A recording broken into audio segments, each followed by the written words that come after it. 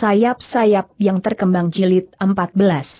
Beberapa saat kemudian, maka mereka pun telah melintasi puncak bukit.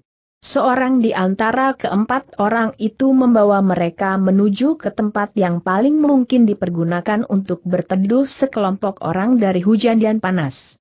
Sambi Wulung mengisyaratkan kepada mereka agar sangat berhati-hati. Ternyata dari balik segerumbul perdu mereka memang melihat dua orang yang berjalan melintas.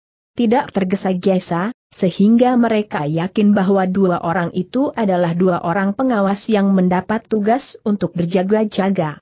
Kita sudah sangat dekat, desis Jati Wulung. Sambi Wulung mengangguk. Namun dengan demikian mereka menjadi sangat berhati-hati. Ketika mereka berempat menjadi semakin dekat, maka mereka terkejut. Dalam cahaya bulan yang terang, mereka melihat di hadapan mereka, di atas tanah yang gundul berbatu padas, sepasukan pengikut Warsi yang riah bersiap.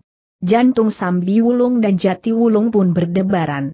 Menurut perhitungan orang-orang tanah perdikan, Warsi akan memanfaatkan bulan yang purnama penuh, yang barangkali ada hubungannya dengan kepercayaannya. Untuk beberapa saat mereka berempat mengamati dari jarak yang jauh. Namun mampu melihat dengan jelas susunan pasukan yang bergerak.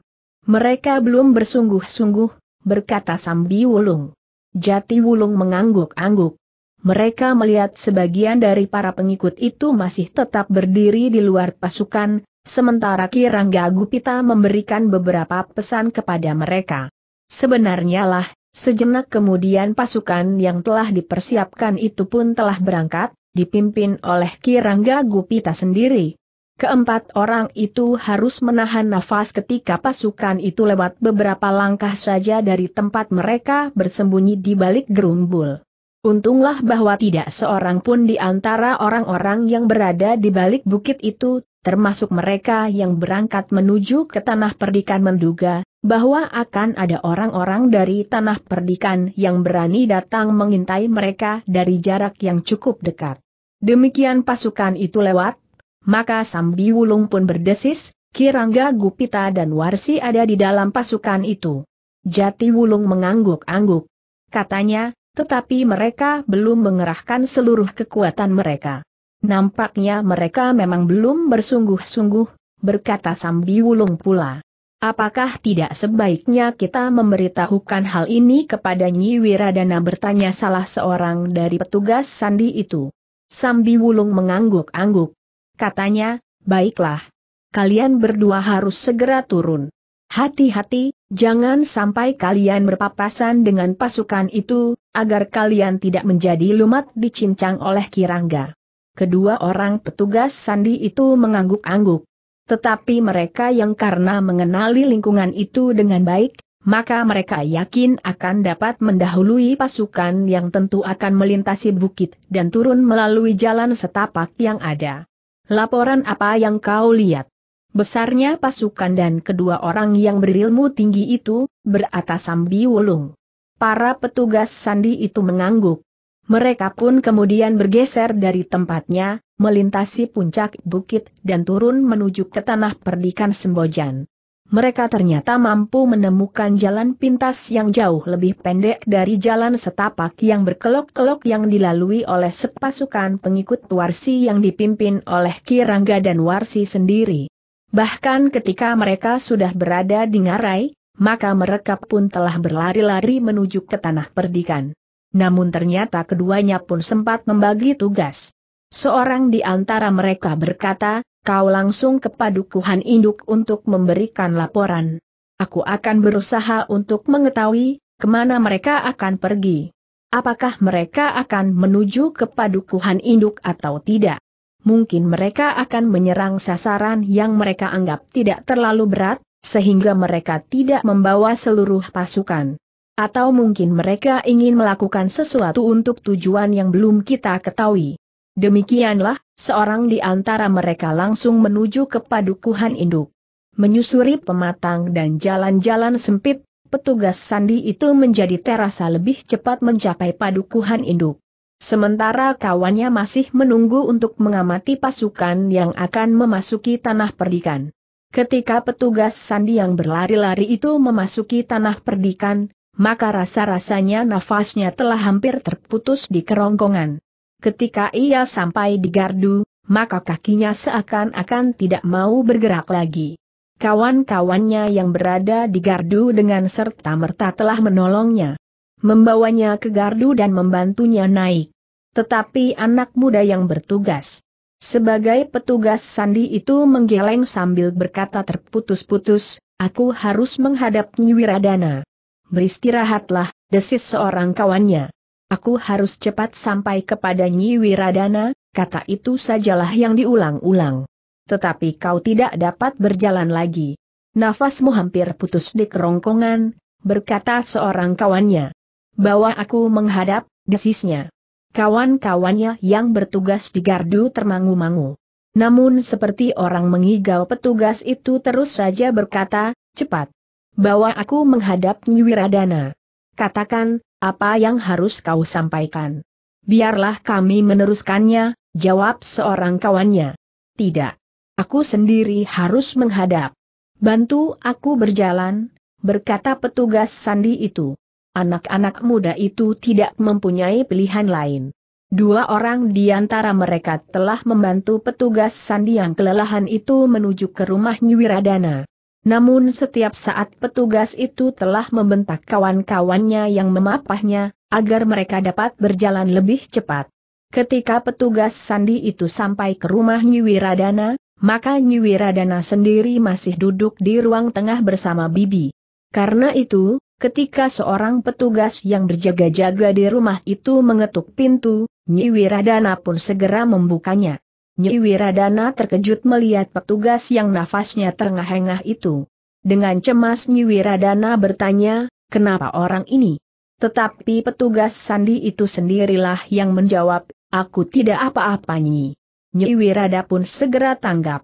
Karena itu, maka dimintanya orang-orang yang mengantar petugas sandi itu untuk menunggu di luar. Betapapun keadaannya, namun petugas sandi itu masih juga dapat memberikan laporan. Suaranya terputus-putus dan bahkan kadang-kadang terbatuk-batuk. Namun akhirnya jelas bagi Nyi Wiradana apakah yang akan terjadi. Panggil guru, berkata Nyi Wiradana kepada Bibi. Bibi pun segera bangkit untuk menyampaikan permohonan Nyi Wiradana agar guru-gurunya hadir di ruang tengah. Dengan singkat Nyi Wiradana telah menyampaikan laporan petugas sandi itu. Dengan mantap pula Nyi Wiradana berkata, aku sendiri akan berangkat guru. Satu kesempatan untuk bertemu dengan perempuan itu. Adalah kebetulan bahwa saat ini Purnama belum penuh. Kau percaya pengaruh bulan penuh itu pada kekuatan ilmu arsi bertanya Kiai Badra. Bukan aku yang percaya. Tetapi perempuan itu. Ia akan merasa bahwa kekuatannya belum sepenuhnya dapat diterapkan di saat bulan belum bulat. Perasaan itu tentu akan sangat berpengaruh pada saat-saat yang gawat, berkata Iswari. Tetapi kau pun masih memerlukan waktu untuk dapat memulihkan kekuatanmu sepenuhnya, berkata Kiai Badra. Aku sudah merasa utuh kembali, jawab Iswari. Kiai Badra berpikir sejenak. Namun kemudian katanya, tetapi kami, orang-orang tua masih berharap kau sempat menunggu satu dua hari lagi. Kau tidak usah memperhatikan purnama itu. Namun dalam dua hari ini, kau tentu sudah berada pada puncak kekuatan dan kemampuanmu. Keadaan wadakmu tentu akan berpengaruh betapapun kesiagaan ilmu di dalam dirimu. Jika kau menunggu dua hari atau setidak-tidaknya sehari lagi itu sama sekali tidak ada pengaruh dari bulan itu. Aku mengerti guru, jawab Iswari, tetapi orang itu datang sekarang. Aku tidak dapat membiarkannya sementara aku menunggu sampai besok malam. Kiai Badera menarik nafas dalam-dalam. Sementara itu, Yai Soka telah bangkit sambil berkata, berdirilah. Iswari pun segera bangkit pula berdiri. Dengan kerut di dahinya yang memang sudah dilukisi dengan garis-garis sumurnya Nyai Soka berkata, lihat telapak tanganmu. Iswari pun kemudian telah mengangkat kedua tangannya untuk menunjukkan telapak tangannya sebagaimana diminta oleh Nyai Soka. Dengan ujung ibu jarinya, Jai Soka telah memijit beberapa jalur urat nadi pada telapak tangannya. Kemudian tangan itu pun telah ditelungkupkannya pula. Seperti yang dilakukan pada telapak tangannya, maka Nyai Sokap pun telah memijit-mijit pula punggung tangan Iswari. Bahkan kemudian pergelangannya dan yang terakhir pada punggung perempuan itu. Sambil menarik nafas dalam-dalam Nyai Soka berkata, baiklah. Kau boleh pergi. Tetapi kau harus sangat berhati-hati. Kami akan pergi bersamamu. Demikianlah, maka Iswari pun dengan cepat telah menjatuhkan perintah lewat para petugas di halaman. Dalam waktu singkat, para pemimpin pengawal telah berada di rumah itu, sementara beberapa orang telah menyiapkan pula pasukan. Dalam pada itu, petugas sandi yang mengintai perjalanan pasukan yang dipimpin Kirangga Gupita dan Warsi telah mendapat petunjuk arah. Karena itu, maka ia pun telah mendahului pasukan itu melalui jalan pintas pula ke padukuhan yang menurut perhitungannya akan menjadi sasaran. Petugas sandi itu memang sudah memperhitungkan bahwa pasukan yang tidak lengkap itu tidak akan menuju ke padukuhan induk.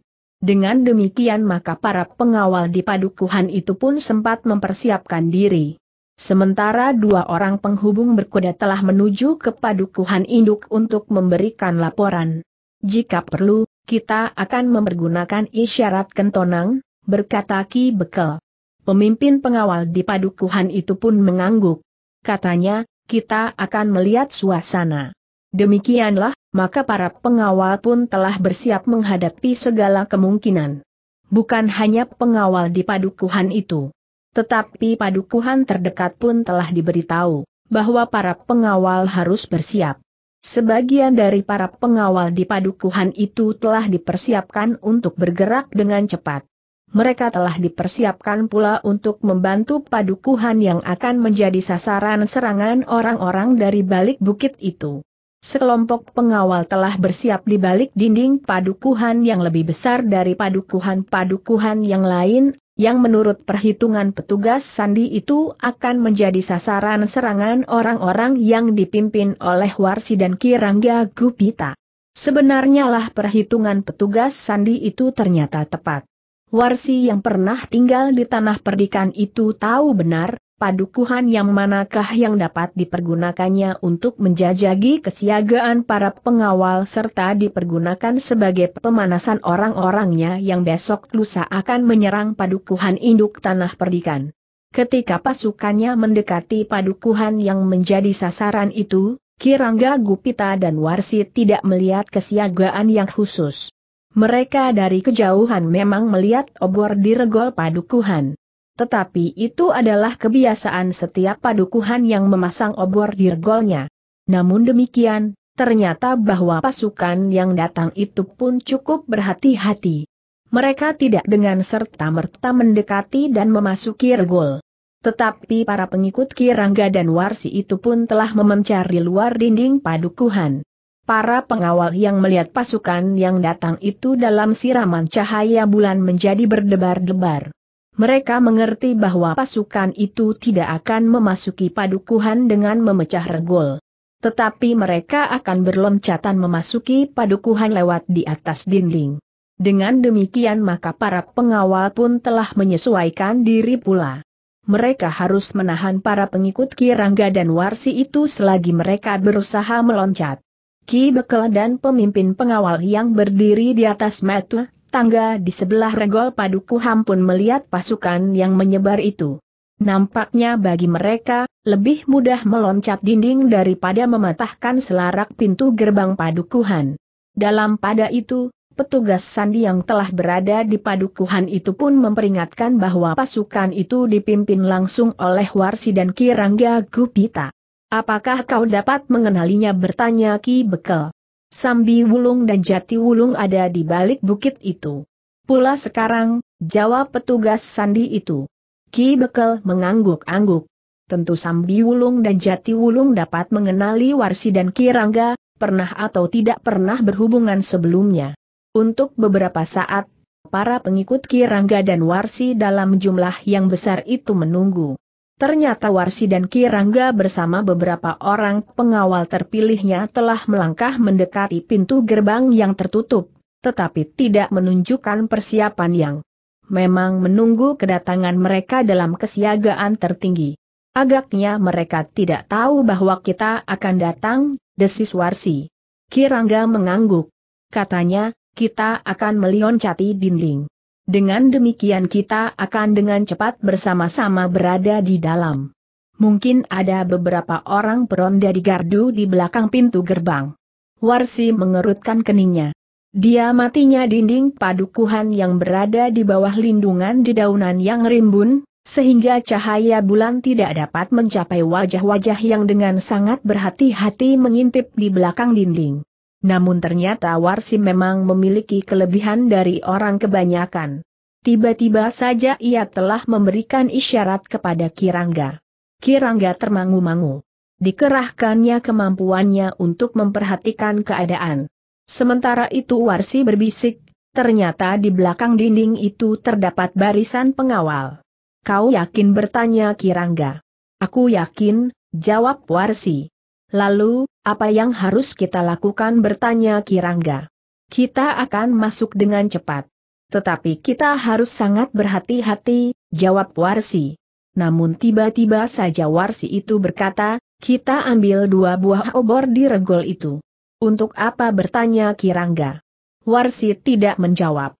Ia sendirilah yang kemudian meloncat mengambil obor minyak di regol.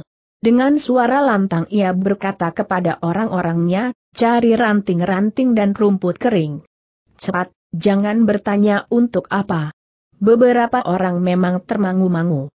Namun Kirangga cepat tanggap, sehingga ia pun kemudian telah memerintahkan beberapa orang mencari ranting-ranting kering dari gerumbul-gerumbul perdu di luar pintu gerbang. Orang-orang yang ada di balik pintu gerbang itu pun menjadi heran apa pula yang akan dilakukan oleh Warsi itu. Namun ternyata bahwa Warsi telah menimbuni pintu gerbang dari regol padukuhan itu dengan ranting dan daun-daun kering. Kemudian membakarnya dan bahkan satu di antara kedua obornya telah dilemparkan pula sehingga minyaknya telah membasahi ranting-ranting kering itu. Dengan demikian maka ranting-ranting serta rumputan dan daun-daun kering itu menjadi cepat terbakar. Bahkan kemudian beberapa orang telah melemparkan lagi ranting-ranting semakin banyak. Pintu gerbang yang terbuat dari kayu itu pun akan mudah terbakar. Sehingga karena itu, orang-orang yang berada di belakang regol pun dengan cepat menyadari keadaan. Beberapa orang telah berlari-lari mencari air di sumur-sumur terdekat dengan alat apa saja yang mereka dapatkan. Dengan upih, dengan kelenting, bahkan jambangan di pakiwan untuk menyiram pintu gerbang agar api yang mulai menyala tidak membakar gerbang itu seluruhnya yang tentu akan merambat ke bagian atap regol dan bangunan yang lain yang berhubungan dengan regol padukuhan. Ki Bekel dan pemimpin pasukan pengawal itu pun telah mengumpat-umpat. Dengan berteriak pemimpin pengawal itu berkata, licik, kau bakar regol padukuhan kami. Tetapi tidak terdengar jawaban. Yang nampak adalah api menjadi semakin besar dan pintu regol pun mulai terbakar. Ternyata Warsi tidak ingin memasuki padukuhan itu lewat pintu gerbang yang akan hancur menjadi abu. Usaha untuk memancing perhatian para pengawal ternyata telah berhasil. Ketika Ki Bekel dan para pemimpin pengawal sibuk memperhatikan api yang semakin besar itu, maka lewat beberapa orang pengikutnya yang ikut sibuk di luar gol itu, ia memerintahkan agar pasukannya mulai bergerak. Hampir bersamaan, maka Ki Bekel dan pemimpin pengawal telah memerintahkan untuk bersiap-siap menghadapi segala kemungkinan apabila pintu gerbang itu tidak dapat diselamatkan. Namun dalam pada itu, terdengar isyarat dari beberapa orang pemimpin kelompok dari antara para pengikut Kirangga Gupita dan Warsi. Dengan serta-merta pula, maka para pengikut mereka itu pun telah bergerak. Bukan sekedar merangkak mendekati dinding padukuhan. Tetapi, mereka pun telah berlari-larian untuk mengambil ancang-ancang. Selagi perhatian para pengawal sebagian tertuju kepada api yang telah membakar gol padukuhan mereka, maka para pengikut Warsi dan Kirangga itu pun telah berloncatan memanjat dinding padukuhan dan berloncatan masuk.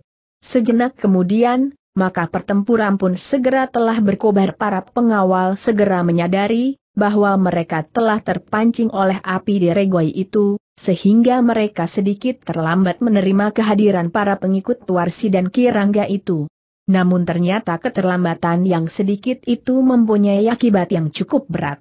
Demikian ujung dari pasukan para pengikut Tuarsi dan Kirangga berhasil masuk, maka mereka telah membuka jalan bagi kawan-kawan mereka, sehingga sejenak kemudian, seluruh kekuatan orang-orang dari balik bukit itu sudah berada di dalam padukuhan tetapi para pengawal padukuhan itu bersama seluruh anak-anak mudanya telah bersiap. Bahkan hampir setiap laki-laki di padukuhan itu sudah mempersiapkan diri untuk bertempur di mana pun juga. Karena itu, ketika mereka mendengar bahwa orang-orang yang menyerang padukuhan mereka telah memasuki padukuhan, maka mereka pun telah menyongsong dengan jumlah yang cukup banyak. Mereka berdatangan dari segala penjuru padukuhan dengan senjata telanjang di tangan. Ternyata bahwa bukan anak-anak muda sajalah yang mampu mempergunakan senjata. Orang-orang yang telah merambat ke usia yang lebih tua, ternyata memiliki kemampuan pula. Mereka adalah justru bekas-bekas pengawal di saat tanah perdikan itu bergolak. Bahkan ada di antara mereka, yang setelah sekitar 10 tahun kemudian masih juga menjadi pengawal. Namun mereka dalam tugas mereka sehari-hari, tidak mendapat tugas yang berat seperti anak-anak mudanya. Bahkan sebagian dari mereka justru telah mendapat kepercayaan untuk membantu memberikan latihan-latihan kepada para pengawal yang masih muda. Dengan demikian, maka orang-orang dari balik bukit itu telah membentur kekuatan yang cukup besar di padukuhan itu. Mereka berhadapan dengan anak-anak muda yang tenaganya seakan-akan justru sedang mekar. Namun di antara mereka terdapat orang-orang yang lebih tua, yang pengalamannya justru telah mengendap. Sehingga dengan demikian, maka pertahanan para pengawal padukuhan itu pun menjadi cukup kuat. Tetapi jumlah orang-orang yang menyerang padukuhan itu memang cukup banyak. Mereka masih saja berloncatan memasuki dinding. Seakan-akan tidak ada habis-habisnya. Ki Bekel dan pemimpin pengawal tanah perdikan di padukuhan itu melihat kesulitan yang bakal timbul. Apalagi jika Ki Rangga dan Warsi memasuki padukuhan itu. Maka keadaan mereka akan menjadi semakin sulit. Karena itu, maka Ki Bekel dan pemimpin pengawal itu sepakat untuk membunyikan isyarat dengan kentongan. Namun sebelum isyarat itu dibunyikan, maka dua orang penghubung telah berlari-lari menemui Ki Bekel dan pemimpin pengawal padukuhan itu. Ada apa bertanya Ki Bekel? Pintu gerbang di ujung yang lain dari lorong ini telah dibuka. Pasukan pengawal berkuda dari padukuhan induk telah masuk, jawab penghubung itu. Siapa yang memimpin pasukan bertanya Ki Bekel. Penghubung itu menggeleng. Jawabnya, aku belum tahu. Aku tergesa-gesa menyampaikan berita ini kemari. Para pengawal yang bertugas di regol sebelah akan membawa mereka lebih dahulu ke Banjar untuk menempatkan kuda-kuda mereka. Baru pasukan pengawal berkuda dari induk padukuhan itu akan kemari. Apakah pasukan itu cukup besar bertanya Ki Bekel. Tidak terlalu besar. Tetapi cukup meyakinkan, jawab. Penghubung itu. Ki Bekel tidak bertanya lebih lanjut. Sementara itu pertempuran menjadi semakin sengit.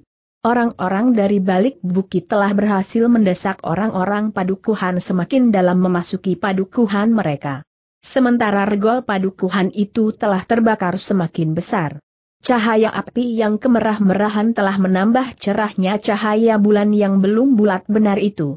Ki Bekel dan pemimpin pengawal itu tidak beranjak dari tempat mereka.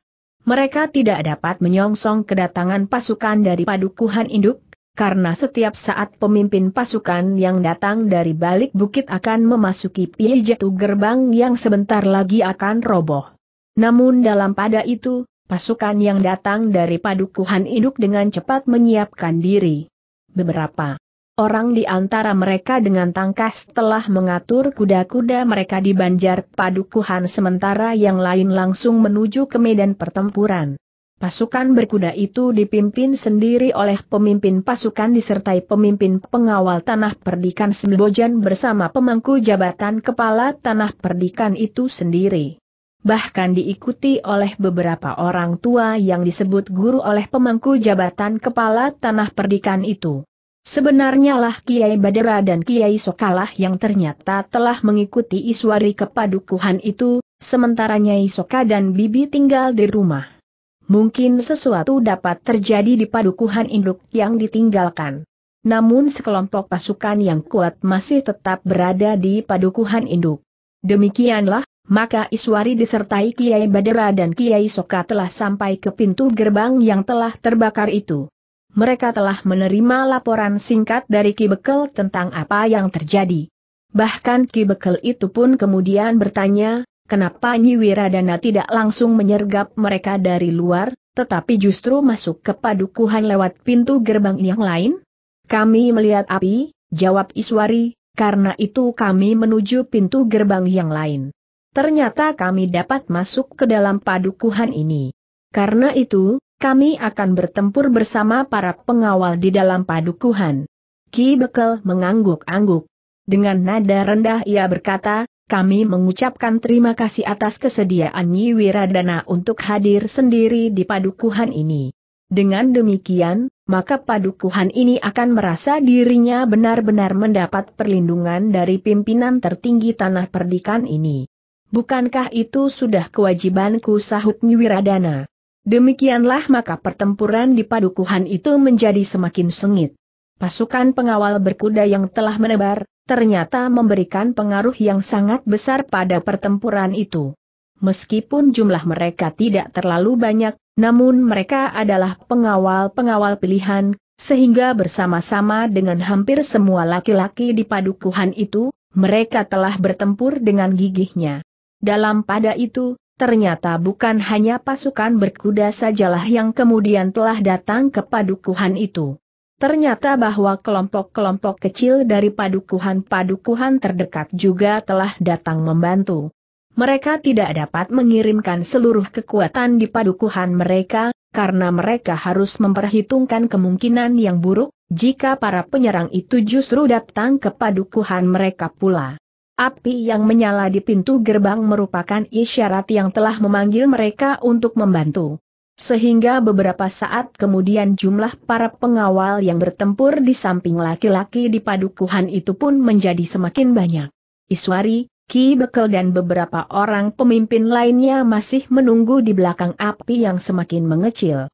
Bahkan sejenak kemudian maka pintu gerbang yang terbakar itu pun telah runtuh menjadi abu. Demikian gerbang itu runtuh, maka para pemimpin dari kedua belah pihak segera melihat, dengan siapa mereka berhadapan. Warsi menggeram. Ia tidak mengira, bahwa demikian cepatnya Iswari ada di padukuhan itu. Namun ia merasa juga beruntung, bahwa dengan demikian ia akan sempat menjajagi ilmunya. Kirangga Gupita yang melihat kehadiran Iswari segera memperingatkan Warsi, kau jangan tenggelam dalam gejolak perasaanmu. Ingat, kita baru akan menjajagi kemampuan para pengawal tanah perdikan ini. Warsi mengerutkan keningnya.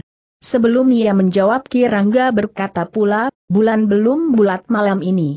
Warsi memang menengadahkan wajahnya ke langit. Bulan memang belum bulat. Untuk beberapa saat para pemimpin itu menunggu.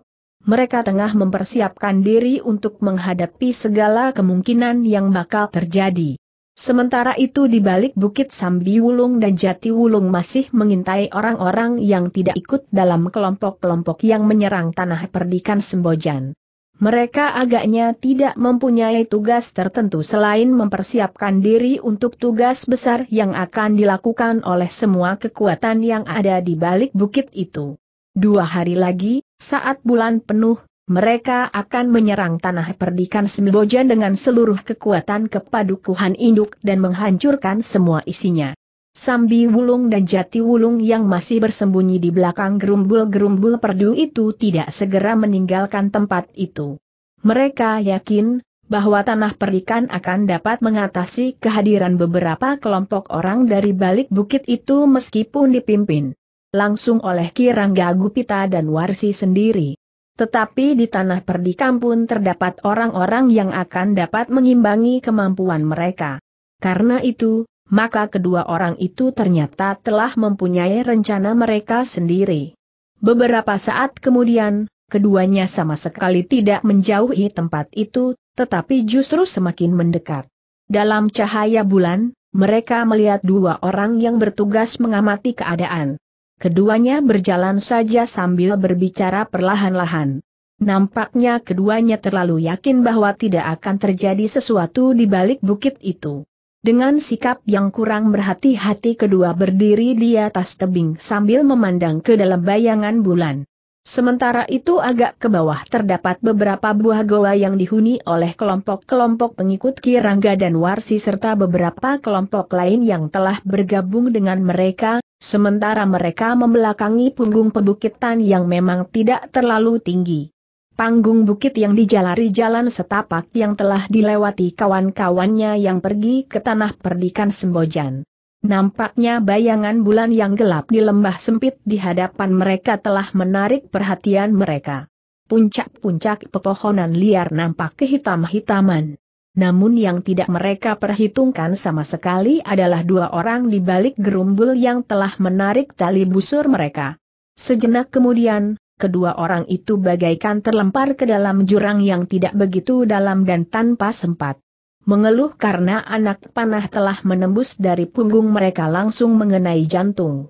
Tetapi Sambi Wulung dan Jati Wulung tidak segera meninggalkan tempat.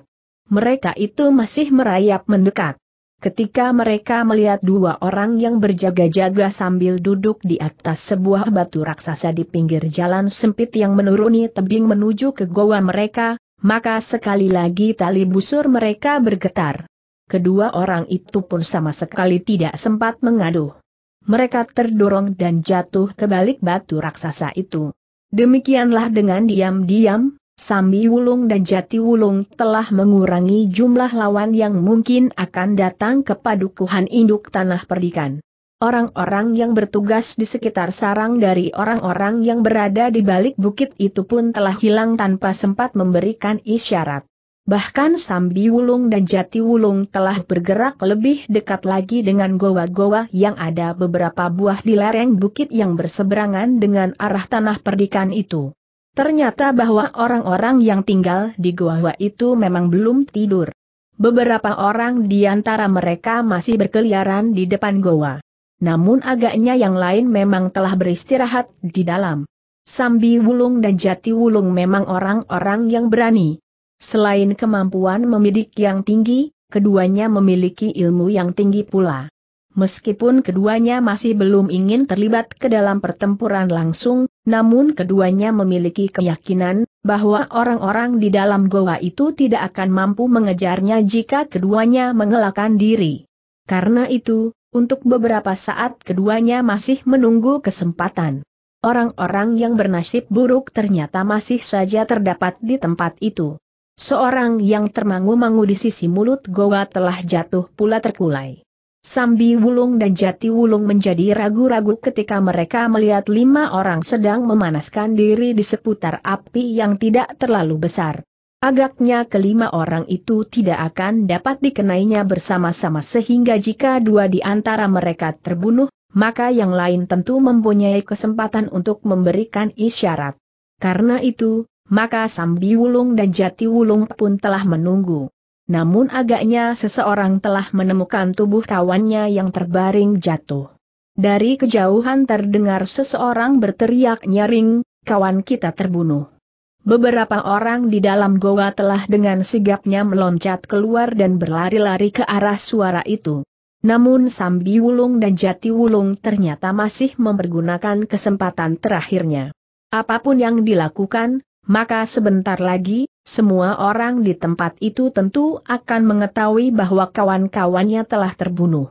Karena itu, maka Sambi Wulung dan Jati Wulung telah bertekad untuk membunuh kelima orang itu sebelum mereka sempat pergi. Ternyata ketangkasan kedua orang itu sangat mengagumkan. Dalam sekejap, dua orang telah tertusuk ujung panah di dada mereka. Sementara itu, ketiga orang lainnya memang sempat menarik pedang mereka sambil berteriak tetapi dua di antara mereka tidak mampu menangkis anak panah yang luncur seperti tatit di udara. Sementara orang kelima memang sempat meloncat dan menjatuhkan diri berguling di tanah. kemudian melenting berdiri dan meloncat ke belakang gerumbul. Namun akhirnya ia juga terkapar jatuh. Bahkan dua anak panah telah menembus tubuhnya. Sarang para pengikut Tuarsi dan Kirangga Gupita itu memang menjadi gempar. Beberapa orang segera berlarian. Sebagian ke arah orang pertama yang berteriak karena melihat kawannya terbunuh oleh anak panah, sementara yang lain berlari ke arah teriakan dari orang terakhir yang terkena anak panah itu. Ketika beberapa orang kemudian berlari-lari, ternyata bukan hanya satu dua orang saja yang terkena panah, tetapi jauh lebih banyak. Sementara keributan itu terjadi, Sambi Wulung dan Jati Wulung telah pergi menjauh. Keduanya menyusuri jalan setapak naik ke punggung bukit. Namun kemudian mereka berdua telah keluar dari jalan setapak itu dan berada di dalam gerumbul-gerumbul yang cukup lebat. Tetapi dari tempatnya Sambi Wulung dan Jati Wulung tidak sempat melihat keributan di lembah, di depan beberapa buah goa yang dihuni oleh para pengikut Kirangga Gupita dan Warsi. Namun setelah beberapa saat mereka menunggu, maka yang mereka tunggu itu benar-benar telah datang. Beberapa orang nampaknya berusaha mengejar mereka mengikuti jalan setapak. Sambi Wulung dan Jati Wulung membiarkan mereka lewat.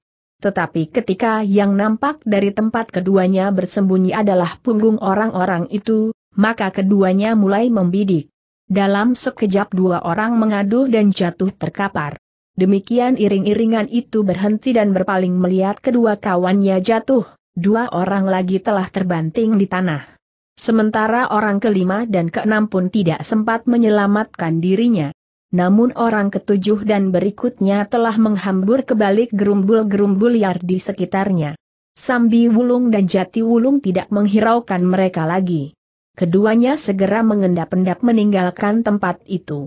Mereka sadar bahwa masih ada beberapa orang yang hidup. Tetapi agaknya Sambi Wulung dan Jati Wulung pun akan mengalami kesulitan untuk dapat membunuh mereka semuanya. Dengan demikian maka sisa orang-orang itu pun telah ditinggalkannya justru menuruni bukit di seberang. Sambi Wulung dan Jati Wulung tidak mengalami kesulitan, karena petugas sandi dari tanah perdikan Sembojan telah menunjukkan jalan kepada mereka. Bukan jalan yang mengikuti jalan setapak, tetapi jalan di antara gerumbul-gerumbul perdu dan batu-batu padas. Karena itulah, maka para pengikut Tuarsi dan Kirangga serta orang-orang yang bergabung dengan mereka tidak dapat menemukan orang-orang yang telah menyerang kawan-kawan mereka dengan panah. Seorang pemimpin kelompok yang menjadi sangat marah telah bersepakat dengan beberapa orang yang lain untuk mengerahkan orang-orang mereka mencari ke seluruh punggung bukit. Di lembah dan relung-relung, sementara yang lain mengikuti jalan setapak sampai menuruni bukit yang menghadap ke tanah perdikan Sembojan. Tetapi mereka tidak menemukan seseorang. Yang mereka temukan adalah tubuh-tubuh yang terbujur membeku dengan anak panah yang menembus tubuhnya menusuk jantung. Gila, geram para pemimpin kelompok, sangat memalukan. Serangan iblis seperti ini dapat terjadi tanpa perlawanan sama sekali. Namun hal itu nyatanya memang sudah terjadi. Sementara itu agak jauh di bawah bukit, di sebuah padukuhan yang cukup besar dari lingkungan tanah perdikan Sembojan, pertempuran telah terjadi dengan sengitnya. Para pengawal padukuhan itu dibantu oleh para pengawal berkuda serta beberapa pengawal dari padukuhan sekitarnya, yang meskipun jumlahnya kecil namun bersama-sama dari beberapa padukuhan, jumlahnya menjadi cukup pula. Para pengikut Kirangga dan Warsi pun mengetahui, bahwa mereka tidak bertempur sesungguhnya untuk merebut padukuhan itu. Tetapi tugas mereka adalah untuk menjajagi kemampuan para pengawal tanah perdikan. Namun ketika mereka benar-benar telah terlibat dalam pertempuran, maka tidak ada lagi bedanya, apakah mereka sedang menjajagi kemampuan para pengawal atau mereka memang ingin menghancurkan padukuhan itu. Karena para pengawal itu pun dengan senjatanya tidak lagi sekedar menunjukkan kemampuan mereka, tetapi mereka benar-benar ingin membunuh para pengikut Kirangga dan Warsi itu sebanyak-banyaknya. Demikianlah maka pertempuran itu pun semakin lama menjadi semakin sengit kedua belah pihak telah meningkatkan kemampuan mereka masing-masing. Ternyata bahwa para pengikut Kirangga, Warsi dan orang-orang yang bergabung dengan mereka, yang sebagian adalah bekas prajurit yang kehilangan pegangan sebagaimana Kirangga Gupita, harus mengakui, bahwa para pengawal tanah perdikan adalah anak-anak muda yang telah terlatih baik. Bahkan laki-laki yang sudah lebih tua pun mampu mempergunakan senjatanya, apalagi mereka yang pernah menjadi pengawal tanah perdikan justru pada saat tanah perdikan itu bergejolak.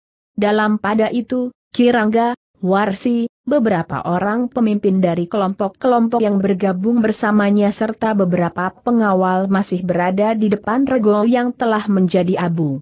Namun sejenak kemudian, tangannya yang gemetar telah bergerak menyentuh senjatanya. Ingat, sekali lagi Kirangga mengingatkan, kau masih menunggu dua hari lagi. Warsi berdesah. Tetapi ia pun kemudian memberi isyarat kepada para pemimpin dari pengikutnya serta orang-orang yang bergabung bersamanya untuk memasuki padukuhan. Mereka telah berloncatan di atas reruntuhan yang di beberapa bagian masih menyala. Namun, tenaga mereka mampu melontarkan mereka melampaui reruntuhan yang panas itu. Di dalam, Iswari memang telah menunggu. Dua orang kakeknya yang juga gurunya berdiri di sebelah. Menyebelahnya. Sementara pemimpin pengawal dan pemimpin pengawal berkuda telah siap pula bersama beberapa orang pengawal terpilihnya. Warsi nampaknya hampir tidak dapat mengendalikan diri lagi. Setelah kekalahannya sekitar 10 tahun yang lalu, maka dendamnya bagaikan membakar kepalanya. Meskipun Kirandu Keling berusaha untuk membujuknya agar ia menganggap bahwa persoalannya dengan Iswari telah selesai, namun dendam Warsi yang membara rasa-rasanya tidak akan dapat terhapus tanpa lepasnya nyawanya atau membunuh Iswari. Karena itu, maka tanpa menghiraukan apa pun juga, maka Warsi pun dengan serta-merta telah menyerang Iswari yang sudah siap menunggunya. Kiai Badera dan Kiai Soka yang ada di sebelah menyebelahnya mengamatinya dengan tegang. Namun mereka pun kemudian harus bertempur pula melawan para pemimpin yang ikut bersama Warsi, termasuk Ki Rangga Gupita. Ki Bekel dan pemimpin pengawal dari padukuhan itu, menyadari, bahwa mereka memang harus menepi. Jika tidak, maka ilmu yang tinggi di antara para pemimpin dari kedua belah pihak itu akan dapat melumatkannya.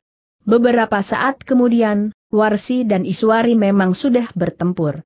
Dendam Warsi yang menyala telah mendorongnya untuk sampai pada tataran yang tinggi dari ilmunya, meskipun Warsi berusaha sekuat tenaganya untuk tidak sampai ke puncak, dan tidak melibatkan diri dari pertempuran hidup dan mati melawan Iswari. Sejenak kedua perempuan itu bertempur. Setelan sekitar 10 tahun yang lalu, maka ternyata kedua orang itu telah meningkatkan ilmunya. Warsi merasa dininya telah menjadi semakin mapan dengan ilmunya, sehingga karena itu, maka ia telah berusaha menjajaginya dengan membenturkan ilmunya itu langsung kepada Iswari, orang yang paling didendamnya. Iswari memang terkejut melihat kekayaan unsur gerak yang kemudian dimiliki oleh Warsi.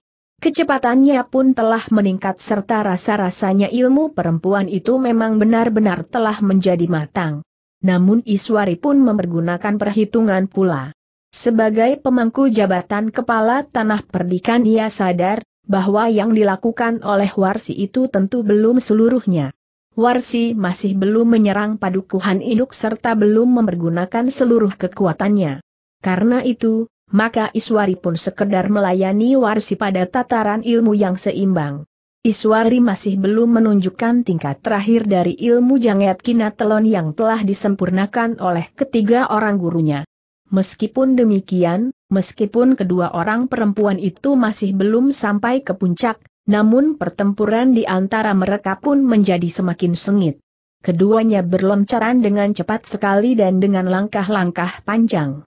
Tangan Warsi bergerak-gerak ke segala arah, seakan-akan kedua tangannya itu telah menjadi beberapa pasang tangan yang bergerak bersama-sama. Tetapi Iswari pun bagaikan tidak berjejak di atas tanah. Kakinya telah melontarkan tubuhnya yang seakan-akan menjadi tanpa bobot. Sehingga dengan demikian, maka tubuh Iswari bagaikan bayangan yang berputaran membingungkan. Demikianlah kedua orang perempuan itu telah bertempur di antara hiruk pikuk pertempuran. Sementara itu Kirangga Gupita pun telah bertemu dengan Kiai Badra yang tua. Namun orang yang nampaknya sudah terlalu tua itu masih saja mampu mengimbangi ketangkasan gerak Kirangga Gupita. Iblis manakah yang merasuk di dalam tubuhmu yang telah menjadi rapuh itu? Hi bertanya Kirangga Gupita. Aku memang sudah tua, jawab Kiai Badra, aku sudah punya cicit. Bahkan cicitku sudah hampir dewasa. Beberapa tahun lagi aku harapkan bahwa aku akan mempunyai udek-udek.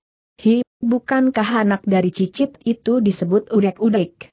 Persetan, geram Kirangga sambil menyerang Kiai Badra yang tua itu. Kiai Badra masih saja dapat bergerak dengan tangkas. Meskipun dukungan kewadagannya tidak lagi seperti beberapa tahun yang lalu, tetapi karena dorongan kekuatan cadangan di dalam dirinya, maka ia tetap seorang yang sangat berbahaya.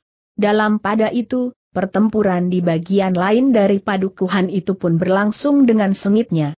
Para pengikut Tuarsi dan Kirangga, yang sebagian terdiri dari bekas prajurit di masa pergolakan antara Jepang dan Pajang, harus mengakui bahwa pengawal di tanah perdikan itu terdiri dari anak-anak muda yang terlatih baik, didampingi oleh orang-orang tua yang berpengalaman, sehingga dengan demikian maka mereka harus berhati-hati menghadapi tanah perdikan Sembojan. Pemimpin Pemimpin kelompoknya pun terpilih di antara orang-orang terbaik dari antara para pengawal. Mereka pun ternyata memiliki pengetahuan perang gelar yang cukup luas serta memiliki kemampuan pribadi yang memadai. Karena itulah, maka para pengikut Tuarsi dan Kirangga itu harus benar-benar berhati-hati menghadapi lawan mereka. Dalam pada itu, Kirangga pun sempat memperhatikan beberapa orang yang bertempur di sekitarnya. Ia pun melihat betapa pertahanan tanah perdikan cukup kuat. Sambil bertempur melawan Kiai Badra, maka Kirangga berusaha menilai keadaan, sementara Kiai Badra sendiri sama sekali tidak berusaha untuk menekan lawannya. Kiai Badra seakan-akan dengan sengaja memberi kesempatan kepada Kirangga untuk melihat keseimbangan pertempuran itu. Karena itu, setiap kali Kirangga berusaha menjauhinya, maka Kiai Badra sama sekali tidak memburunya. Dengan demikian maka Kirangga itu berhasil mengamati pertempuran itu dengan saksama. Ia pun sempat menyaksikan pertempuran antara Warsi dan Iswari yang meningkat memasuki tataran ilmu yang semakin tinggi. Sebenarnya lah bahwa bagi Warsi dan Iswari, kesempatan itu tidak akan ada bedanya dengan kesempatan kapan pun juga yang akan mereka peroleh. Karena itu, Selagi mereka bertemu di Arna maka memang sulit bagi keduanya untuk mengekang diri. Meskipun belum sampai pada puncak ilmu mereka masing-masing, maka pada setiap kesempatan, serangan. Mereka benar-benar merupakan serangan-serangan yang berbahaya. Bahkan serangan-serangan yang benar-benar mengarah ke tempat-tempat yang paling berbahaya pada tubuh seseorang. Tetapi keduanya pun memiliki ketangkasan untuk menghindari. Namun sekali-sekali mereka menangkis serangan itu. Dengan demikian terjadi benturan-benturan kecil yang dapat dipergunakan untuk menjajagi kemampuan lawan. Dalam pada itu, Kirangga yang memang rasa-rasanya lebih bebas untuk mengamati keadaan melihat Warsi dan Iswari justru semakin meningkatkan ilmu mereka. Beberapa saat kemudian, Kirangga menganggap bahwa yang harus mereka lakukan memang sudah selesai. Sementara itu Raden Rangga tahu bahwa bantuan dari padukuhan-padukuhan kecil di sekitar padukuhan yang agak besar itu menjadi semakin banyak sehingga Kirangga tidak mau menanggung akibat yang lebih buruk lagi bagi orang-orangnya yang pada saatnya akan benar-benar dipergunakan. Karena itu, maka Raden Rangga memang menganggap bahwa penjajagan yang mereka lakukan saat itu telah cukup. Dengan demikian, maka Kirangga Gupita pun telah membunyikan aba-aba untuk meninggalkan padukuhan itu. Tanda-tanda sandi yang hanya diketahui oleh orang-orangnya. Sejenak kemudian isyarat itu pun telah tersebar di seluruh medan. Dengan demikian, meskipun para pengawal padukuhan semula tidak tahu maksudnya, namun akhirnya mereka dapat menduga apakah yang dimaksud dengan isyarat itu. Sebenarnya lah, maka sejenak kemudian para pengikut Kirangga Gupita dan Warsi itu telah melakukan gerakan yang mengejutkan para pengawal. Namun sejenak kemudian, mereka memanfaatkan kesempatan yang timbul untuk menarik mundur pasukan mereka. Tidak dengan perlahan-lahan. Tetapi dalam keremangan bayangan pepohonan di padukuhan, mereka telah menghambur berlari ke dinding padukuhan. Sejenak kemudian, maka orang-orang dari balik bukit itu telah berloncatan keluar dari dinding padukuhan. Di bagian dalam regol padukuhan itu, Warsi pun telah bersiap-siap untuk meninggalkan padukuhan itu. Kirangga telah mengatur beberapa orang pengikutnya untuk menimbulkan suasana yang memungkinkan mereka keluar dari padukuhan itu. Mereka tidak perlu lagi meloncati abu yang panas dari pintu gerbang yang telah terbakar, karena api memang telah padam. Demikianlah, maka sejenak kemudian, orang-orang dari balik bukit itu pun telah berloncatan meninggalkan Arna. Ketika para pengawal akan mengejar mereka, maka Iswari telah memberikan isyarat, agar mereka tidak melakukannya. Mungkin kalian akan memasuki satu jebakan di luar padukuhan, pesan Iswari kepada para pemimpin pengawal. Para pengawal memang menjadi kecewa. Tetapi mereka mengerti sikap hati-hati Iswari, karena lawan mereka adalah orang-orang yang sangat licik. Sehingga dengan Demikian maka para pengawal memang tidak berusaha untuk mengejar lawan-lawan mereka yang melarikan diri. Pertempuran yang terjadi memang bukan pertempuran antara hidup dan mati dari kedua belah pihak. Meskipun demikian ada juga korban yang jatuh. Baik dari antara para pengawal, maupun dari orang-orang di balik bukit. Bahkan di antara para penyerang terdapat pula beberapa orang yang tertangkap karena mereka tidak berhasil melarikan diri oleh luka-lukanya. Tetapi para pemimpin di tanah perdikan itu memang tidak terlalu banyak mengharap keterangan dari mereka. Mereka tentu sudah mendapat petunjuk-petunjuk, bahkan perintah yang disertai dengan ancaman, agar mereka tidak memberikan penjelasan tentang kedudukan mereka. Namun Iswari masih berpengharapan untuk mendapatkan keterangan itu. Mungkin keterangan yang didengar dari orang-orang yang tertawan itu akan dapat digabungkan dengan keterangan dari Sambi Wulung dan Jati Wulung. Dalam pada itu, untuk beberapa saat Iswari dan Ki Bekel telah membenahi padukuhan itu. Mereka berusaha untuk menemukan semua orang yang terluka. Setiap orang harus melaporkan jika mereka tidak melihat seseorang yang dikenalnya. Apakah tetangganya, apakah justru keluarganya atau siapa saja, sehingga dengan segera dapat diketahui para korban yang jatuh malam itu. Karena itulah, maka pencaharian telah dilakukan dengan mengerahkan semua orang, terutama di bekas sarana pertempuran. Sedangkan orang-orang yang tertawan telah dibawa ke Banjar. Adapun orang-orang padukuhan itu yang terluka dan yang menjadi korban telah dibawa ke rumah Ki Bekel. Meskipun pertempuran itu terhitung tidak terlalu lama, namun memang ada korban yang jatuh di antara orang-orang padukuhan itu. Seorang pengawal dan dua orang yang lain telah gugur. Sedangkan lima orang terluka cukup parah dan lebih dari sepuluh orang telah tergores senjata. Beberapa orang telah sibuk membantu seorang tabib yang disegani di padukuhan itu. Dengan kepandaiannya meramu berbagai macam dedaunan dan beberapa jenis akar-akaran, maka ia telah membuat obat yang dapat dipergunakan untuk mengobati luka-luka baru sehingga dalam waktu singkat darah pun telah menjadi pempat. Sementara di padukuhan itu terjadi kesibukan untuk merawat orang-orang yang gugur dan terluka, bahkan juga merawat orang-orang dari balik bukit yang tertawan, Warsi dan Kirangga telah membawa orang-orangnya kembali. Mereka pun dengan cepat mengetahui bahwa tujuh orang tidak ada lagi di antara mereka. Mungkin terbunuh, tetapi mungkin juga tertawan. Sebenarnya lah di antara tujuh orang itu, dua orang memang terbunuh. Empat orang terluka parah, sedangkan yang seorang benar-benar tertawan tanpa segores luka pun di tubuhnya. Sedang juga lebih dari sepuluh orang yang terluka ringan sempat ikut serta melarikan diri dari padukuhan itu. Di perjalanan beberapa orang pemimpin kelompok terpaksa mengobati luka orang-orangnya yang mengalirkan darah, agar mereka tidak mengalami nasib buruk, justru karena kehabisan darah, sementara luka-lukanya tidak termasuk luka yang parah. Iring-iringan pasukan dari balik bukit itu memang menghindari padukuhan-padukuhan yang tentu sudah bersiap-siap menghadapi segala kemungkinan. Meskipun padukuhan-padukuhan itu kecil dan kekuatan para pengawal dan anak-anak mudanya tidak seberapa, tetapi mereka akan dapat membunyikan syarat, sehingga pengawal berkuda akan dapat dengan cepat datang ke padukuhan itu, sementara mereka memang tidak berniat untuk merebut kedudukan yang mana pun juga.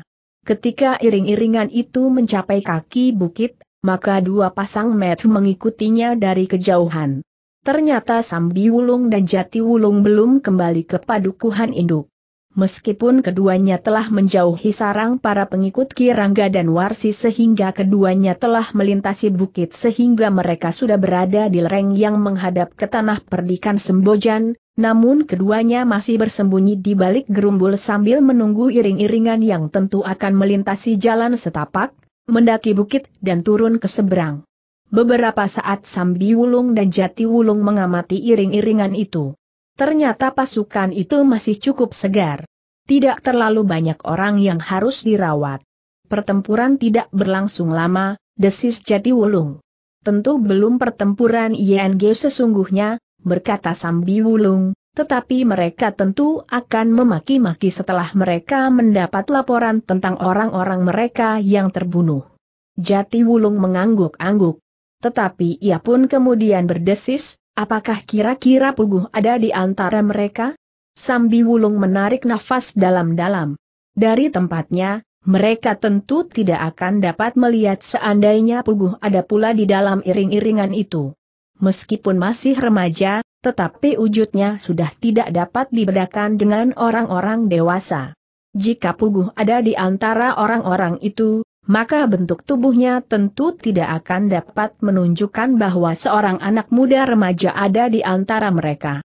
Kemungkinan kehadirannya harus kita perhitungkan, berkata Sambi Wulung kemudian. Maksudmu bertanya Jati Wulung. Mungkin Puguh tidak sendiri. Mungkin ia membawa pengawal yang pernah melihat kita di padepokannya. Karena itu, jika kita akan turun ke dalam pertempuran yang sebenarnya jika mereka menyerang padukuhan induk, maka kita harus dapat menyamarkan diri, berkata Sambi Wulung. Jati Wulung mengangguk-angguk. Topeng-topeng kecil yang wujudnya menakutkan itu terdapat di dekat pintu-pintu gerbang padukuhan induk. Agaknya mereka memang akan menyerang padukuhan induk itu. Sejalan dengan kepercayaan Warsi tentang bulatnya bulan, maka memang dapat diperhitungkan, kapan Warsi akan menyerang. Namun dalam pada itu, Jati Wulung itu pun bertanya, masih ada beberapa anak panah. Apakah kita akan mempergunakannya? Tetapi Sambi Wulung menggeleng. Katanya, jangan. Biarlah mereka berjalan dengan tenang sampai ke sarang mereka. Baru mereka akan mengumpat-umpat. Jati Wulung tidak menyaut. Dia matinya iring-iringan yang menjadi semakin jauh di bawah siraman cahaya bulan yang cerah meskipun belum bulat. Beberapa saat kemudian, maka ujung dari iring-iringan itu mulai merambat naik, mengikuti jalan setapak seperti seekor ular raksasa yang merambat. Sambi Wulung dan Jati Wulung hanya dapat memandanginya dari kejauhan. Bahkan kemudian setelah iring-iringan itu memanjat semakin tinggi, maka Sambi Wulung pun berkata, marilah. Kita lihat, apa yang telah terjadi. Kita akan ke mana? Kembali ke padukuhan induk bertanya Jati Wulung. Iring-iringan itu tentu tidak pergi ke padukuhan induk. Kita akan bertanya kepada para peronda di padukuhan, ke mana orang-orang itu pergi, desis Sambi Wulung. Demikianlah, maka Sambi Wulung dan Jati Wulung pun telah meninggalkan lereng bukit itu menuju ke padukuhan. Dari orang-orang padukuanlah maka Sambi Wulung dan Jati Wulung menduga dari mana iring-iringan itu pergi. Apalagi ketika keduanya mendapat keterangan tentang api yang menyala di pintu gerbang sebuah padukuhan. Mereka tentu dari sana, berkata Sambi Wulung. Dengan tergesa-gesa dan hati yang berdebar-debar keduanya telah pergi menuju ke padukuhan yang pintu gerbangnya telah terbakar. Sebenarnya lah, bahwa orang-orang dari balik bukit itu telah membakar gol padukuhan yang lebih besar dari padukuhan-padukuhan yang lain di sekitarnya, sehingga sejenak kemudian maka Sambi Wulung dan Jati Wulung sempat melihat akibat dari pertempuran yang terjadi di padukuhan itu, sementara Iswari, Kiai Badera dan Kiai Soka masih berada di padukuhan itu pula. Sementara itu, maka para pengikut Kirangga Gupita dan Warsi telah melintasi puncak bukit dan kemudian menuruni tebing di seberang. Namun mereka terkejut ketika mereka melihat beberapa buah obor yang dipasang di depan sarang mereka. Apalagi ketika mereka menjadi semakin dekat. Mereka melihat beberapa sosok tubuh yang terbaring diam di pelataran goa yang terbesar yang terdapat di lekuk pebukitan itu. Apa yang telah terjadi di sini Warsi hampir berteriak. Orang yang diserahi tanggung jawab selama Kirangga dan Warsi meninggalkan sarangnya itu melangkah mendekat dengan jantung yang terasa berdegup semakin keras. Katanya dengan suara bergetar, sarang kita sudah kemasukan iblis. Apa maksudmu bertanya Warsi dengan mata terbelalak. Seseorang telah memasuki lingkungan ini dan membunuh kawan-kawan kita dengan licik, jawab orang itu. Wajah Warsi menjadi merah membara, Sementara Kirangga bertanya dengan suara gagap, apa yang telah dilakukannya? Mereka membunuh kawan-kawan kita dengan panah, jawab orang yang bertanggung jawab di saat Warsi dan Kirangga pergi itu. Kirangga mengumpat dengan kasar. Dengan garangnya ia meloncat mendekati tubuh-tubuh yang terbaring itu. Di sebelah setiap orang memang terdapat sebuah anak panah. Dengan sorot metu yang penuh kemarahan dan dendam Kirangga melihat setiap anak panah yang telah membunuh orang-orangnya. Sementara ia mengumpat-umpat kasar, maka seorang yang sudah berambut putih mendekatinya sambil berkata, kau tidak dapat mengumpat-umpat saja. Kau harus berbicara dengan para pemimpin dari kelompok ini. Kematian orang-orang kita di sarang sendiri adalah pertanda, betapa beratnya lawan yang akan kita hadapi. Tentu ada satu atau dua orang yang dengan sangat berani telah datang ke tempat ini. Sedikitnya dua orang, biar kata salah seorang di antara mereka yang pada saat-saat terakhir hampir saja ikut menjadi sasaran anak panah Sambi Wulung dan Jati Wulung. Kita harus membalas kematian itu dengan kematian, geram Warsi. Apa yang akan kita lakukan bertanya orang yang sudah berambut putih. Kita membunuh orang-orang tanah perdikan Sembojan sebanyak-banyaknya, berkata Warsi. Apakah pantas jika kita membunuh orang-orang yang tidak terlibat langsung dalam pertentangan ini bertanya orang berambut putih itu. Aku tidak peduli. Bahkan perempuan dan anak-anak. Mereka harus menebus kelicikan mereka dengan harga yang mahal, geram Warsi. Mereka sama sekali tidak licik mereka justru menunjukkan keberanian yang luar biasa. Jika kita kemudian membunuh siapa saja, termasuk perempuan dan anak-anak itulah yang disebut licik dan bahkan buas. Aku tidak sependapat. Kecuali jika kita dapat membedakan di antara orang-orang sembojan, yang manakah pengawal dan yang manakah bukan, berkata orang berambut putih itu. Tetapi ketika kita memasuki padukuhan itu, kita harus melawan semua orang laki-laki. Bahkan yang tua-tua sekalipun. Sama sekali bukan hanya pengawal, geram warsi. Orang berambut putih itu mengangguk-angguk. Ia pun ikut serta memasuki padukuhan itu untuk menjajagi kemampuan dan perlawanan orang-orang tanah perdikan Sembojan.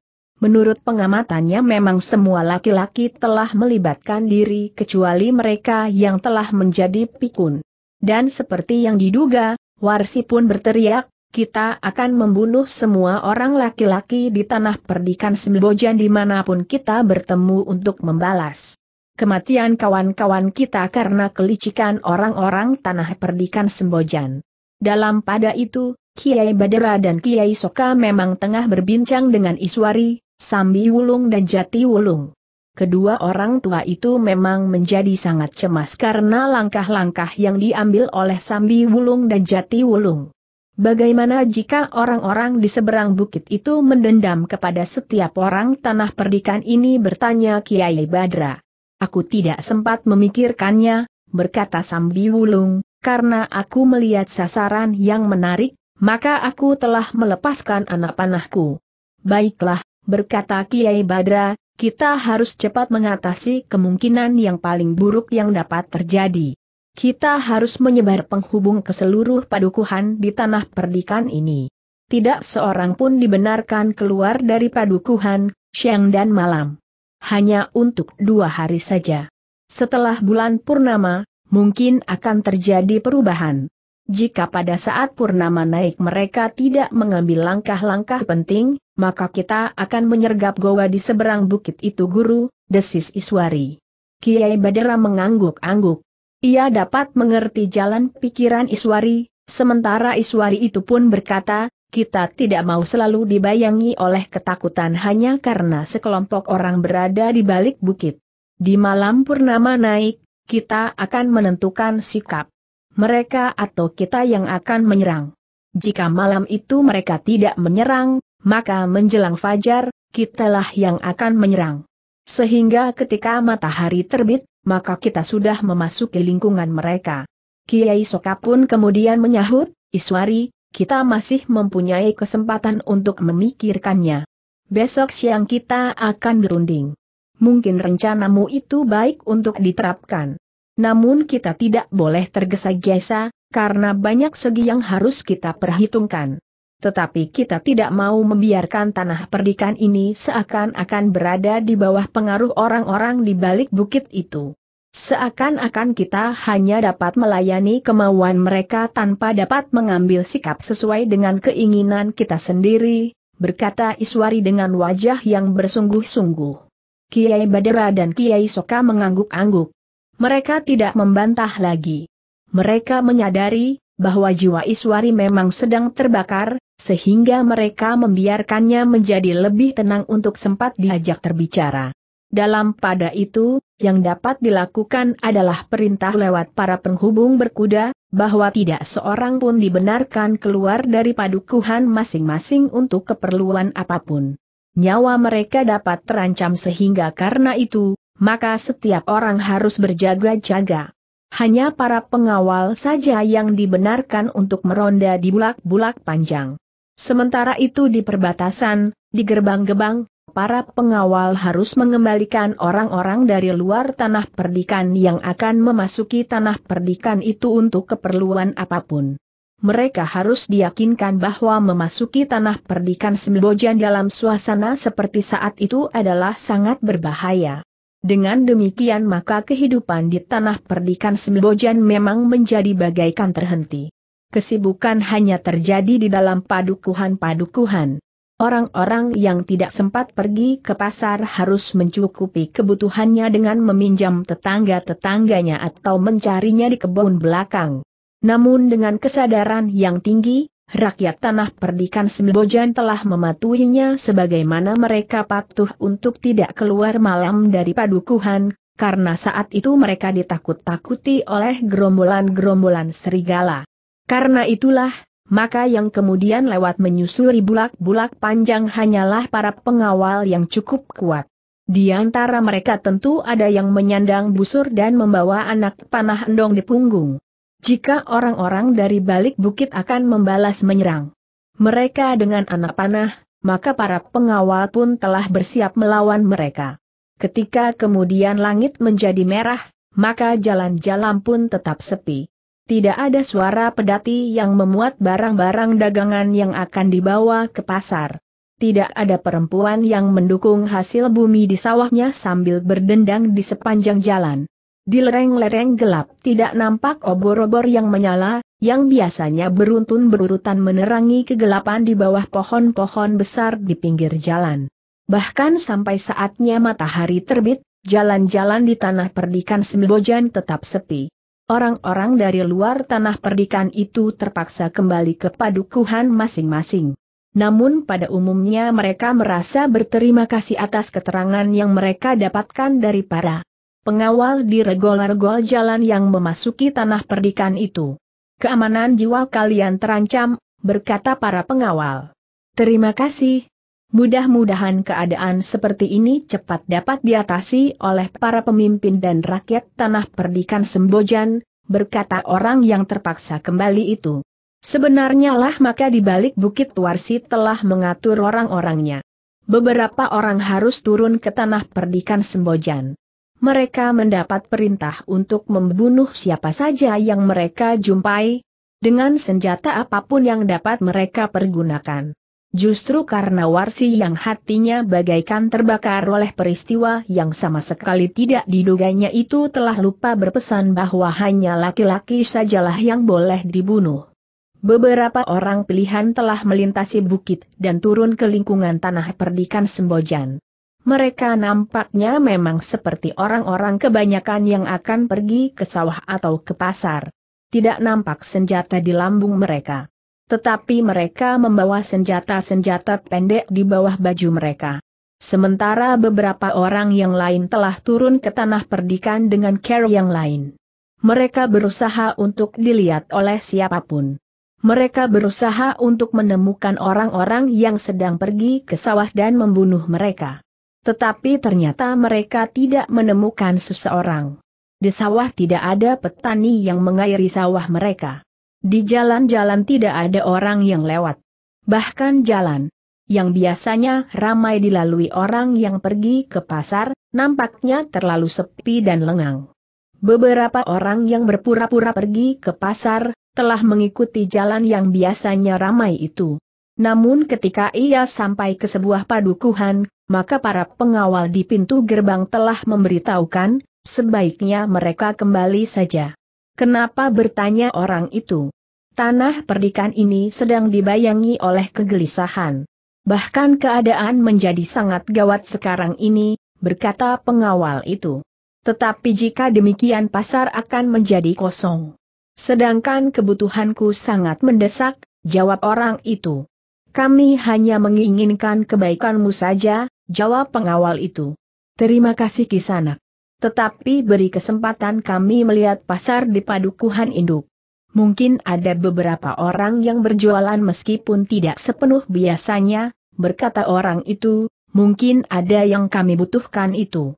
Apakah Kisanak tidak yakin, bahwa pasar-pasar di tanah perdikan ini kosong? Kisanak, sebenarnya Kisanak ini dari mana? Apakah Kisanak tidak memasuki tanah perdikan ini lewat jalan induk atau beberapa jalan yang biasanya dilalui oleh sanak kadang dari luar tanah perdikan? Dan apakah Kisanak tidak mendapat pemberitahuan di pintu gerbang di saat Kisanak memasuki tanah perdikan ini bertanya pengawal itu. Orang-orang itu termangu-mangu. Sementara itu, Pemimpin pengawal padukuhan itu justru merasa heran melihat sikap mereka meskipun ia masih berdiam diri. Kisanak, berkata seorang di antara mereka, jangan hiraukan keselamatan kami. Kami yakin bahwa kami akan dapat menjaga diri kami. Kami tidak menyangkal Kisanak, jawab seorang pengawal, nampaknya kalian memang memiliki kemampuan untuk melindungi diri sendiri tetapi kami memang tidak ingin terjadi sesuatu di tanah perdikan kami. Jika di satu tempat kalian benar-benar diserang oleh orang-orang yang tidak dikenal di sini, maka tentu akan terjadi pertempuran. Siapa pun yang akan mati, maka kami, orang-orang tanah perdikan Sembojan tidak akan dapat begitu saja mencuci tangan. Kami harus menjawab pertanyaan-pertanyaan dari keluarga kalian atau siapa pun yang berhubungan dengan kalian jika kalian gagal mempertahankan diri. Orang-orang itu termangu-mangu. Namun seorang di antara mereka berkata, terima kasih atas peringatan kalian. Kami akan meneruskan perjalanan. Kami akan menempuh jalan padukuhan ini dan menghindari jalan-jalan bulak sejauh mungkin. Para pengawal itu nampaknya masih saja berkeberatan. Namun tiba-tiba saja pemimpin pengawal padukuhan itu berkata, Baiklah kisanak. Jika kalian memang akan meneruskan perjalanan, asal segala tanggung jawab ada pada kisanak sendiri. Mumpung masih pagi, kisanak akan melihat bahwa pasar-pasar di tanah perdikan ini benar-benar kosong. Beberapa orang itu saling berpandangan. Kemudian seorang di antara mereka berkata, terima kasih atas kesempatan ini. Kami mohon diri. Beberapa orang itu pun kemudian melangkah meninggalkan regol padukuhan. Seorang di antara mereka sempat berbisik, kita tidak akan dapat membunuh seorang pun jika kita tidak memasuki padukuhan seperti ini. Ternyata semua orang telah diperintahkan untuk tinggal di padukuhan. Nampaknya alangkah kami benar. Kita harus membunuh siapa saja yang berpapasan dengan kita. Syukur dapat kita lakukan dengan diam-diam, jika tidak, kita harus mengambil sikap. Kita mencari kesempatan. Kita membunuh dengan perhitungan, berkata yang lain.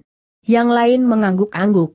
Mereka pun kemudian berjalan tanpa melakukan sesuatu yang mencurigakan. Mereka pun tidak menghiraukan meskipun mereka tahu. Beberapa orang padukuhan itu memperhatikan mereka dari dalam regol-regol halaman mereka. Seorang di antara mereka telah menggamit kawannya, ketika mereka melihat seorang laki-laki yang sedang menyapu jalan di depan regol halaman rumahnya. Dengan nada rendah ia berkata, mungkin orang itu akan menjadi korban pertama. Kita bunuh dan kita lemparkan ke belakang dinding halaman sebelahnya yang masih banyak ditumbuhi rumpun-rumpun bambu itu. Dua orang di antara kita akan berjalan di depan. Semua harus berlangsung cepat tanpa menimbulkan kesan. Apa pun. Orang itu tidak boleh mendapat kesempatan untuk berteriak. Yang lain mengangguk-angguk. Setidak-tidaknya mereka telah membunuh seseorang. Senjata mereka telah basah oleh darah yang akan dapat mereka tunjukkan kepada para pemimpinnya. Dua orang di antara mereka telah mendahului kawan-kawannya. Mereka siap menyergap orang yang sedang menyapu jalan yang penuh dengan daun bambu itu, tanpa menghiraukan bahwa orang itu sudah melampaui separuh baya. Rambutnya sudah mulai memutih dan menilik badannya yang kurus, orang itu sama sekali tidak termasuk seorang yang pernah terlibat dalam pertempuran yang mana pun. Tetapi orang-orang itu tidak peduli.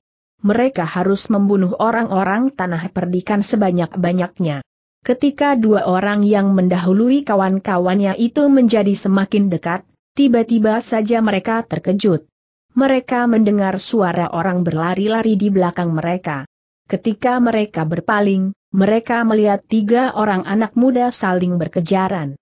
Bahkan seorang di antara mereka yang mengejar dua orang yang lain telah memungut batu sambil berkata, berhenti, kalau tidak aku lempar kepalamu dengan batu. Tetapi kedua orang anak muda yang dikejarnya hanya tertawa saja berkepanjangan sambil berlari. Namun kemudian mereka telah mendahului orang-orang yang melewati padukuhan itu dan justru keduanya berhenti dan bersembunyi di belakang orang yang sedang menyapu itu. Paman, itu anakmu nakal, berkata salah seorang dari kedua orang anak muda yang ternyata sedang bergurau itu. Pemimpin dari beberapa orang dari balik bukit itu menggeram. Anak-anak muda itu telah mengacaukan rencana mereka. Namun tiba-tiba ia berkata, kita bunuh ketiga anak muda itu pula. Jika mereka sempat melawan dan memanggil kawan-kawannya, kita melarikan diri mengikuti jalan ini dan kemudian berpencar keluar dari padukuhan ini. Kita harus menyelamatkan nyawa kita masing-masing. Mudah-mudahan kawan-kawan kita yang berada di bulak-bulak dengan senjata jarak jauh akan dapat membantu kita. Kawan-kawannya mengangguk-angguk. Mereka membiarkan saja anak muda yang mengejar kawan-kawannya itu mendahului mereka. Sementara orang yang sedang menyapu jalan itu pun harus berhenti pula karena anak-anak muda yang berdesakan itu. Tetapi orang-orang itu sudah bertekad untuk membunuh. Angan-angan mereka yang buram diliputi oleh kemauan membunuh itu saja sehingga mereka tidak sempat membuat perhitungan yang lebih cermat lagi. Namun sekali lagi mereka terkejut. Mereka mendengar lagi suara tertawa di belakang. Ternyata bukan saja anak-anak muda yang sedang bergurau, tetapi beberapa orang pengawal yang berjalan menyusuri jalan padukuhan itu sambil berkelakar. Setan, geram pemimpin dari beberapa orang itu. Bagaimanapun juga mereka tidak dapat berbuat apa-apa. Para pengawal itu berjalan searah dengan mereka. Karena itu, maka mereka harus membiarkan saja orang yang menyapu jalan itu menepi bersama anak-anak muda yang sedang bergurau itu. Mereka tidak dapat membunuhnya apalagi anak-anak muda itu karena di belakang mereka beberapa orang pengawal yang agaknya dari bertugas kembali ke rumah masing-masing. para pengawal itu akan segera memasuki halaman rumah masing-masing, berkata pemimpin pengawal itu. Kawan-kawannya mengangguk. Sebelum mereka keluar dari padukuhan itu, maka para pengawal itu tentu sudah keluar dari jalan induk menuju ke rumah masing-masing. Tetapi ternyata dugaan itu keliru. Para pengawal itu berjalan terus menyusuri jalan induk itu, seakan-akan telah mengikuti mereka ke mana mereka pergi. Setan, geram pemimpin dari orang-orang dari balik bukit itu, kenapa mereka berjalan di belakang kita terus? Apakah mereka mengetahui siapa kita desis yang lain? Tentu tidak. Justru mereka berusaha minta agar kita tidak berada di tanah perdikan ini untuk keselamatan kita, berkata yang lain. Tetapi kenapa mereka mengikuti kita bertanya yang lain? Agaknya mereka sudah menjadi gila, geram pemimpin dari sekelompok orang-orang dari balik bukit itu. Beberapa saat lamanya orang-orang itu mencoba untuk menahan diri. Namun ternyata mereka tidak mampu lagi mengendapkan perasaan mereka yang bergejolak. Sehingga karena itu, maka mereka pun justru telah berhenti ketika pemimpin mereka memberikan isyarat. Para pengawal yang berjalan di belakang mereka pun tertegun. Namun mereka berjalan terus. Semakin lama semakin dekat dengan orang-orang yang datang dari balik bukit. Kenapa kalian mengikuti kami? Tiba-tiba saja pemimpin dari orang-orang dari balik bukit itu bertanya. Para pengawal itu terkejut mendengar pertanyaan itu. Namun yang tertua di antara mereka berkata, kami sama sekali tidak mengikuti kalian tetapi kami akan pergi ke mulut lorong di sebelah lain karena kami harus menyampaikan beberapa pesan dari pemimpin kami kepada mereka. Tentu kalian telah mencurigai kami, desis pemimpin dari beberapa orang pendatang itu. Para pengawal itu saling berpandangan. Yang tertua di antara mereka pun kemudian justru bertanya, jadi kalian merasa kami curigai dan kemudian kami awasi? Pemimpin dari para pendatang itu ragu-ragu sejenak. Tetapi katanya kemudian, baiklah. Lebih baik kami meninggalkan padukuhan ini. Itu lebih baik kisanak, berkata orang tertua di antara para pengawal itu, sikap kalian telah menyinggung perasaan kami, para pengawal padukuhan ini. Orang-orang dari balik bukit itu pun kemudian memang memutuskan untuk keluar dari padukuhan itu.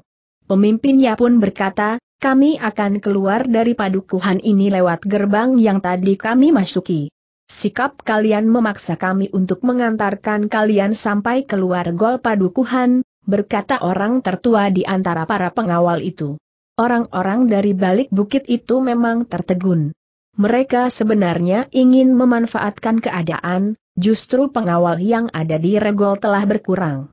Mungkin mereka akan dapat membunuh mereka sebelum melarikan diri tetapi beberapa orang pengawal itu justru telah mengikuti mereka. Para pengawal itu telah mempersilahkan orang-orang dari balik bukit itu untuk berjalan di hadapan mereka. Kami terpaksa mencurigai kalian, berkata pengawal itu. Orang-orang dari balik bukit itu hanya dapat mengumpat. Tetapi mereka tidak dapat menolak. Bahkan rasa-rasanya mereka memang telah digiring keluar dari padukuhan itu. Beberapa saat kemudian mereka sudah berada di pintu gerbang. Ternyata di pintu gerbang itu hanya tinggal empat orang saja yang bertugas seandainya sekelompok pengawal itu tidak kembali menggiring mereka, maka orang-orang dari balik bukit itu akan dapat membunuh keempat orang pengawal itu dengan tiba-tiba tanpa menarik perhatian mereka sebelumnya. Setan, geram pemimpin dari orang-orang dari balik bukit itu di dalam hatinya tetapi ia tidak dapat mengatakan sesuatu. Sebagaimana sekelompok orang-orang yang tidak disukai lagi di satu tempat, maka orang-orang dari balik bukit itu pun telah diusir pula dari padukuhan itu. Beberapa orang pengawal berdiri di pintu gerbang sambil memandangi orang-orang yang melangkah menjauh itu. Sekali-sekali beberapa orang di antara mereka masih berpaling namun mereka tidak mempunyai kesempatan untuk berbuat sesuatu. Bahkan sejenak kemudian, maka seakan-akan di regol padukuhan itu menjadi semakin banyak orang yang menyaksikan kepergian mereka dengan jantung yang berdegup semakin keras dan wajah yang menjadi panas oleh kemarahan yang menghentak-hentak dada mereka. Bahkan seorang di antara mereka bertanya, kenapa mereka tidak kalian tangkap saja? Para pengawal pun termangu-mangu. Namun pemimpin sekelompok pengawal yang bertanggung jawab saat itu berkata, kami memang mencurigainya. Tetapi kami masih menghindari benturan kekerasan. Mungkin mereka sengaja memancing persoalan sementara mereka telah mempersiapkan jebakan yang tidak kami ketahui. Karena itu, kami masih berusaha menghindari benturan kekerasan itu. Yang lain mengangguk-angguk. Tetapi pada umumnya mereka mengerti alasan pemimpin kelompok pengawal yang bertugas itu. Mudah-mudahan padukuhan-padukuhan lain tidak dapat dikelabuinya pula, berkata pemimpin sekelompok pengawal itu. Lalu katanya pula, sejak kehadirannya kami sudah mencurigainya. Jika mereka orang-orang dari daerah tetangga, maka mereka tentu masuk tanah perdikan melalui jalan-jalan utama atau jalan-jalan simpang yang ramai, sehingga di saat mereka melintasi batas tanah perdikan, tentu sudah ada sekelompok pengawal yang memberitahukan agar mereka kembali. Tetapi orang-orang itu tiba-tiba saja sudah sampai di padukuhan ini. Para pengawal pun mengangguk-angguk. Bahkan ternyata hal itu telah didengar oleh Ki Bekel pula, sehingga Ki Bekel pun telah datang ke regol padukuhannya untuk minta keterangan tentang beberapa orang yang memasuki padukuhannya. Dengan singkat pemimpin kelompok pengawal yang bertugas itu pun memberikan laporan tentang orang-orang yang tidak dikenal yang memasuki padukuhan itu, justru pada saat keadaan sedang gawat. Kita memang harus mencurigai orang-orang yang tidak kita kenal, berkata Ki Bekel, kalian sudah melangkah ke arah yang benar. Sikap kalian dapat aku mengerti. Namun kemudian, kita harus bersiap semakin kuat mungkin ada langkah-langkah lain yang akan diambil oleh orang-orang itu. Jika perlu, kita membunyikan isyarat kentongan atau panah sendaren. Sebenarnya lah, bahwa para pengawal telah dipanggil. Mereka yang sedang beristirahat pun harus datang ke Banjar. Mereka dipersilahkan untuk tidur di Banjar, terutama bagi mereka yang bertugas di malam hari.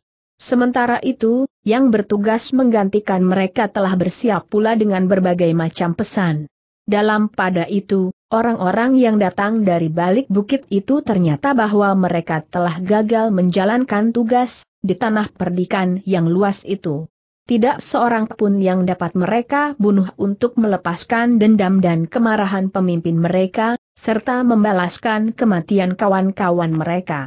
Demikian pula orang-orang yang bertugas dengan diam-diam berkeliaran di tanah perdikan untuk menyergap orang-orang yang pergi ke sawah. Ternyata mereka tidak menemukan seorang pun yang dapat menjadi sasaran pembunuhan.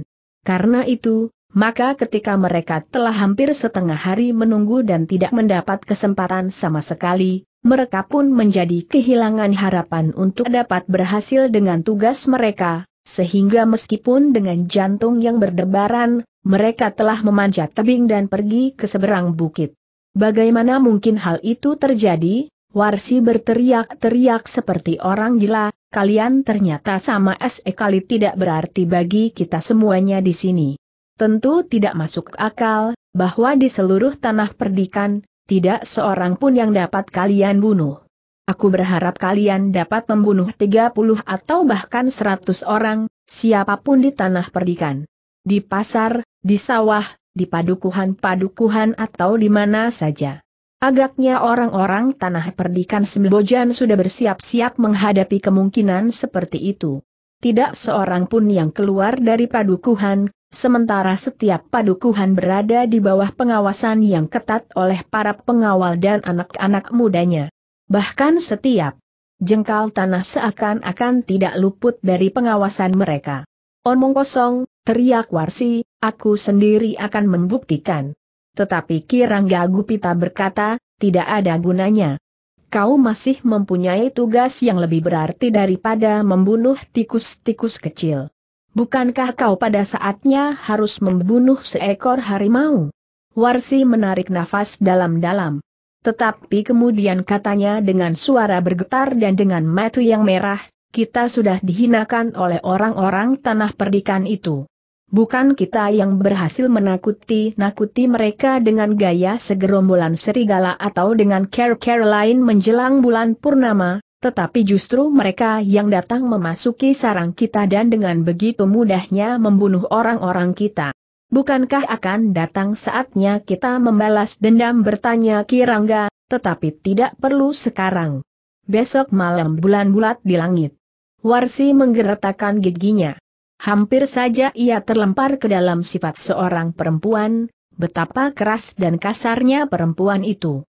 Hampir saja ia memekik dan menjerit menangis sejadi-jadinya untuk melepaskan kejengkelannya. Namun untunglah bahwa ia segera sadar, bahwa ia bukan seorang perempuan cengeng yang hanya pandai menangis dan merengek. Namun Warsi memang dapat menahan dirinya. Ia tidak lagi berniat untuk turun ke seberang bukit karena kemarahan yang membakar jantungnya. Dengan upacara sederhana, para pengikut Kirangga Gupita dan Warsi yang telah terbunuh oleh panas Sambi Wulung dan Jati Wulung itu dikuburkan. Namun di hadapan para pengikutnya Warsi telah membakar jantung mereka. Warsi telah berhasil mengorek rasa dendam di hati para pengikutnya, sehingga mereka pun telah berjanji kepada diri sendiri, bahwa jika saatnya datang, mereka harus membunuh orang-orang tanah perdikan sebanyak-banyaknya. Dalam pada itu, tanah perdikan Sembojan memang masih dibayangi oleh perasaan cemas dan bahkan bagi perempuan dan kanak-kanak, Rasa-rasanya mereka memang dicengkam oleh ketakutan. Apalagi mereka yang tinggal di padukuhan yang menghadap ke bukit. Mereka tahu bahwa di seberang bukit itu terdapat kekuatan yang besar yang setiap saat dapat menerkam mereka. Dengan demikian maka para pengawal di setiap padukuhan itu telah bersiap-siap sepenuhnya. Para pengawas tidak pernah menjadi lengah. Mereka mengawasi sekeliling padukuhan mereka masing-masing dengan saksama kentongan telah dipersiapkan hampir segala tempat, yang dapat dibunyikannya setiap saat. Suaranya akan dapat menjangkau padukuhan-padukuhan bukan saja yang terdekat, tetapi dua tiga padukuhan yang lain yang akan dapat menyambung suara isyarat itu ke padukuhan-padukuhan yang lain dengan pertandasan di atas padukuhan sumber isyarat itu. Di sisa hari itu tidak terjadi sesuatu di tanah perdikan. Namun masih berlaku larangan untuk keluar dari padukuhan karena keadaan yang semakin gawat, justru di saat bulan purnama tinggal kurang satu malam lagi. Ketika malam turun, maka bulan memang nampaknya sudah bulat. Tetapi menurut perhitungan waktu, bulan baru akan bulat penuh besok malam. Malam itu, Warsi berniat untuk beristirahat sepenuhnya. Namun ternyata masih ada satu hal yang perlu dipertimbangkan. Apakah ia besok akan turun ke Arna dan menantang Iswari untuk berperang tanding sebagaimana pernah dilakukan, atau begitu saja menyerang tanah perdikan, membunuh, membakar dan mengacaukan. Segala-galanya tanpa menghiraukan apakah ia akan bertempur. Bagi Warsi, tidak ada lagi orang yang ditakutinya, bahkan seandainya Kirandu Keling berpihak kepada tanah perdikan Sembojan sekalipun. Tetapi tiba-tiba Warsi berkata, aku akan tidur. Aku tidak mau memikirkannya sekarang. Aku akan tidur di bawah cahaya bulan, agar tenaga yang memancar daripadanya membuat tenaga di dalam diriku semakin penuh. Dengan demikian besok aku akan turun ke Arna dengan kekuatan yang tidak akan dapat diatasi oleh siapa pun juga. Tidak ada yang mencegahnya. Kirangga pun tidak. Ia pun justru percaya bahwa ilmu arsi dipengaruhi oleh cahaya bulan. Jika semalaman ia tidur di bawah cahaya bulan, seakan-akan kekuatan cahaya bulan itu menyusup dan memenuhi wadah yang sudah tersedia di dalam diri Warsi. Bahkan Kirangga pun berkata, aku temani kau tidur di bawah cahaya bulan. Warsi tidak menjawab lagi. Seorang pengikutnya telah memberikan sehelai tikar kepadanya dan sehelai kepada Rangga Gupita.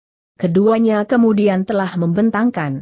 Di atas rerumputan di bawah cahaya bulan jauh dari pepohonan, sehingga sampai saatnya bulan turun ke barat, cahayanya masih akan menyentuh tubuh Warsi. Namun dalam pada itu, Setelah kedua orang itu berbaring, Warsi masih sempat berdesis, dalam keadaan seperti ini ada baiknya puguh kita bawa. Bukankah aku sudah mengatakannya, desis Rangga Gupita? Kau wajib memberikan benih di dalam hatinya kebanggaan atas tanah perdikan ini. Ia adalah anak kepala tanah perdikan ini. Jika kita semuanya berhasil, maka ia masih akan tetap memiliki hak itu. Apalagi jika Iswari dan Risang telah mati karena tidak ada orang lain yang akan tumbuh. Iswari yang tidak bersuami lagi itu tidak akan beranak. Tetapi kau, setelah Puguh masih mempunyai anak lagi. Persetan, geram Warsi, sayang, Puguh tidak kita bawa. Kirangga Gupita tidak menjawab lagi. Tetapi ia pun mulai memejamkan matanya. Nampaknya Kirangga justru telah tertidur lebih dahulu dari Warsi yang gelisah. Bahkan sambil berbaring Warsi masih sempat memandang bulan bulat sambil memohon, agar bulan itu memberikan kekuatan jauh lebih besar dari yang pernah diberikannya. Ternyata langit memang bersih.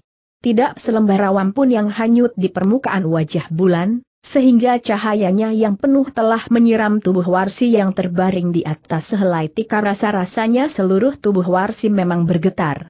Cahaya itu bagaikan mengusap dan kemudian menyusup di antara lubang-lubang kulitnya. Namun Warsi tidak sempat melihat, bahwa dedaunan pun telah bergerak oleh angin malam yang lembut. Tetapi, keyakinannya sendiri itu ternyata memang dapat memberikan dorongan kekuatan yang besar baginya dalam keadaan yang paling gawat dan di saat-saat yang paling diperlukan. Seperti sebuah jambangan, maka Warsi berharap dirinya akan dituangi kekuatan semalam suntuk, hingga jambangan itu benar-benar penuh dan bahkan meluap. Sehingga saat dipergunakan, maka ia akan menjadi semakin perkasa dan tidak dapat diimbangi oleh siapa pun juga. Di tanah perdikan Sembojan, kesiagaan pun benar-benar telah berada pada tataran tertinggi. Namun menurut perhitungan para pemimpinnya, serangan orang-orang dari balik bukit baru akan terjadi malam berikutnya. Tetapi mungkin sekali terjadi sebagaimana malam sebelumnya. Nampaknya orang-orang di balik bukit itu sedang mengadakan pemanasan.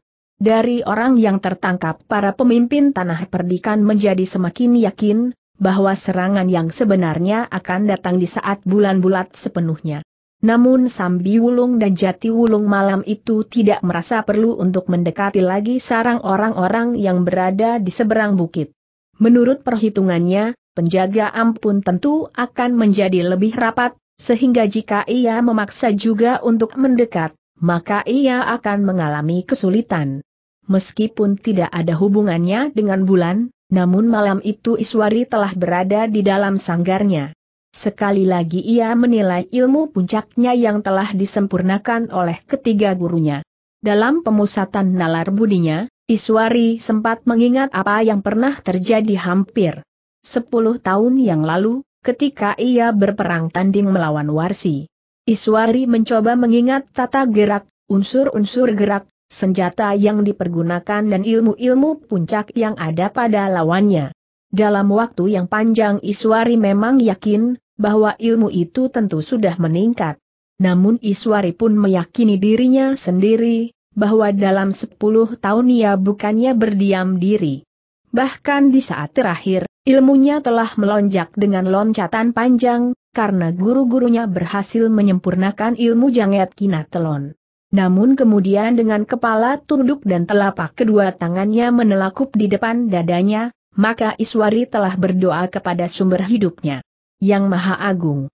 Semoga apa yang hamba lakukan, berkenan di hati Yang Maha Agung, karena hamba berniat untuk melindungi sesama dan menyingkirkan keangkara murkaan.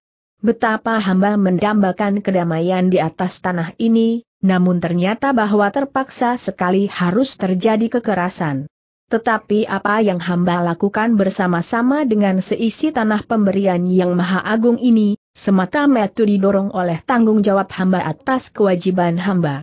Ternyata Iswari berada beberapa lama di dalam sanggarnya. Baru menjelang tengah malam Iswari keluar dari sanggar dengan kepala tunduk. Memang kadang-kadang masih juga terngiang pertanyaan di telinga hatinya, kenapa harus terjadi kekerasan di atas tanah yang diasuhnya itu? Kenapa darah masih harus tertumpah di atas tanah yang hijau segar oleh pepohonan dan rerumputan? Kenapa kehidupan masih harus diwarnai dengan permusuhan dan bahkan pembunuhan? Kadang-kadang Iswari memang merasa bimbang, apakah yang dilakukannya itu sudah sesuai dengan kewajiban dan tanggung jawabnya. Bukan saja sebagai pemangku jabatan kepala tanah perdikan Sembojan, tetapi juga sebagai titah yang maha agung. Iswari menarik nafas dalam-dalam ketika kemudian ia berada di halaman. Dilihatnya para pengawal benar-benar berada dalam kesiagaan tertinggi. Dua orang pengawal agaknya bertugas khusus untuk mengawasi sanggar selama ia berada di dalamnya tanpa mendapat perintahnya. Mereka terlalu baik, berkata Iswari di dalam hatinya. Mereka telah menyerahkan apa saja yang dimilikinya bagi tanah kelahirannya. Di ruang dalam Iswari masih bertemu dengan ketiga orang gurunya yang duduk bersama Sambi Wulung dan Jati Wulung. Ketika mereka melihat Iswari yang sudah keluar dari sanggarnya, maka mereka pun kemudian beringsut untuk memberikan tempat kepadanya. Beberapa saat mereka masih berbincang. Namun tidak seorang pun di antara mereka yang mengetahui apa yang akan terjadi besok. Namun Iswari memang sudah siap, seandainya Warsi menantangnya sekali lagi berperang tanding. Namun hampir di luar sadarnya, Iswari berkata, mudah-mudahan risang di masa pemerintahannya kelak tidak mengalami pergolakan seperti ini. Kiai Badera menarik nafas dalam-dalam. Katanya, bagaimanapun juga risang harus dipersiapkan untuk menghadapi segala kemungkinan. Tetapi ia harus berpegang pada alas kewajibannya, berkata Iswari, sementara ini aku merasa, seakan-akan pertentangan yang ada sekarang adalah persoalan pribadi. Kadang-kadang aku merasa malu, bahwa darah anak-anak muda terbaik dari tanah perdikan ini harus tertumpah karena persoalan pribadi yang timbul antara aku dan perempuan itu. Justru karena seorang laki-laki. Tidak. Bukan itu, sahutnya Yaisoka, persoalan itu sudah lama selesai. Apalagi Wiradana sudah tidak ada lagi sekarang. Yang terjadi sekarang adalah persoalan hak dan kewajiban atas tanah perdikan ini. Iswari tidak menjawab. Tetapi kepalanya pun kemudian telah menunduk. Sudahlah, berkata Kiai Soka, beristirahatlah. Kau perlu beristirahat lahir dan batin. Lupakan segala persoalan. Malam ini tidak akan terjadi sesuatu. Kau harus meyakini itu, sehingga kau benar-benar akan dapat beristirahat. Iswari mengangguk. Ia pun kemudian minta diri untuk pergi ke biliknya. Iswari tertegun ketika ia melihat Bibi masih duduk di bibir pembaringannya. Bibi, desis Iswari yang terkejut melihat di mata Bibi tergenang air yang kemudian menitik di pipinya yang mulai menjadi berkeriput oleh umurnya. Kenapa kau menangis bertanya Iswari. Tanpa menjawab pertanyaan itu, Bibi telah memeluk Iswari. Tangisnya tidak dapat ditahannya lagi. Meskipun ia pernah disebut serigala betina, tetapi ia adalah seorang perempuan. Bibi, kenapa bertanya Iswari kemudian setelah Bibi menjadi agak tenang? Tidak apa-apa Nyi, jawab Bibi, tiba-tiba saja aku telah dicengkam oleh kenangan buruk dari tingkah lakuku sendiri. Sementara itu, sebuah pertanyaan telah timbul di dalam hatiku, kenapa kau tidak boleh hidup tenang? Sejak kau kawin dengan Wiradana, kau sudah mengalami cobaan yang berat. Sekarang, ketika umurmu merambat semakin tua, kau masih juga harus mengalaminya. Alangkah mengerikan saat-saat aku berusaha membunuhmu justru ketika kau sedang hamil. Kemudian kau tersingkir untuk beberapa saat kau pun pernah mengalami perang tanding sehingga kau menjadi terluka di dalam. Ternyata sekarang kau masih harus mengalaminya lagi, bibi itu berhenti sejenak, lalu, kapan kau dapat hidup tenang seperti kebanyakan orang? Agaknya Ki Wiradana adalah seorang yang menyebabkan hidupmu mengalami goncangan terus-menerus. Sudahlah Bibi, berkata Iswari, yakinlah akan kekuasaan yang maha agung kita sandarkan hidup kita kepadanya. Bibi itu mengangguk-angguk. Dengan suara bergetar ia berkata, tidurlah Nyi. Kau perlu beristirahat. Iswari pun berdesis, aku akan beristirahat lahir dan batin. Mudah-mudahan besok aku mendapatkan tenagaku yang utuh, lalu katanya kepada Bibi, silahkan Bibi juga beristirahat. Aku tidak akan berbuat apa-apa Nyi. Biarlah aku menunggui Nyi Wiradana di sini, jawab Bibi. Nyi Wiradana tersenyum. Pada wajah Bibi masih nampak sikapnya yang keras dan bahkan garang. Di masa umurnya masih lebih muda, maka ia adalah seorang perempuan yang ditakuti. Namun ternyata Bibi itu dapat menemukan jalan yang baik pada sisa hidupnya. Ketika Iswari kemudian berbaring, maka Bibi pun tanpa diminta telah memijit kaki Iswari. Sebagai seorang yang bertualang di dunia yang keras, Bibi mempunyai pengetahuan tentang urat dan syaraf serba sedikit yang diwarisinya dari orang tuanya.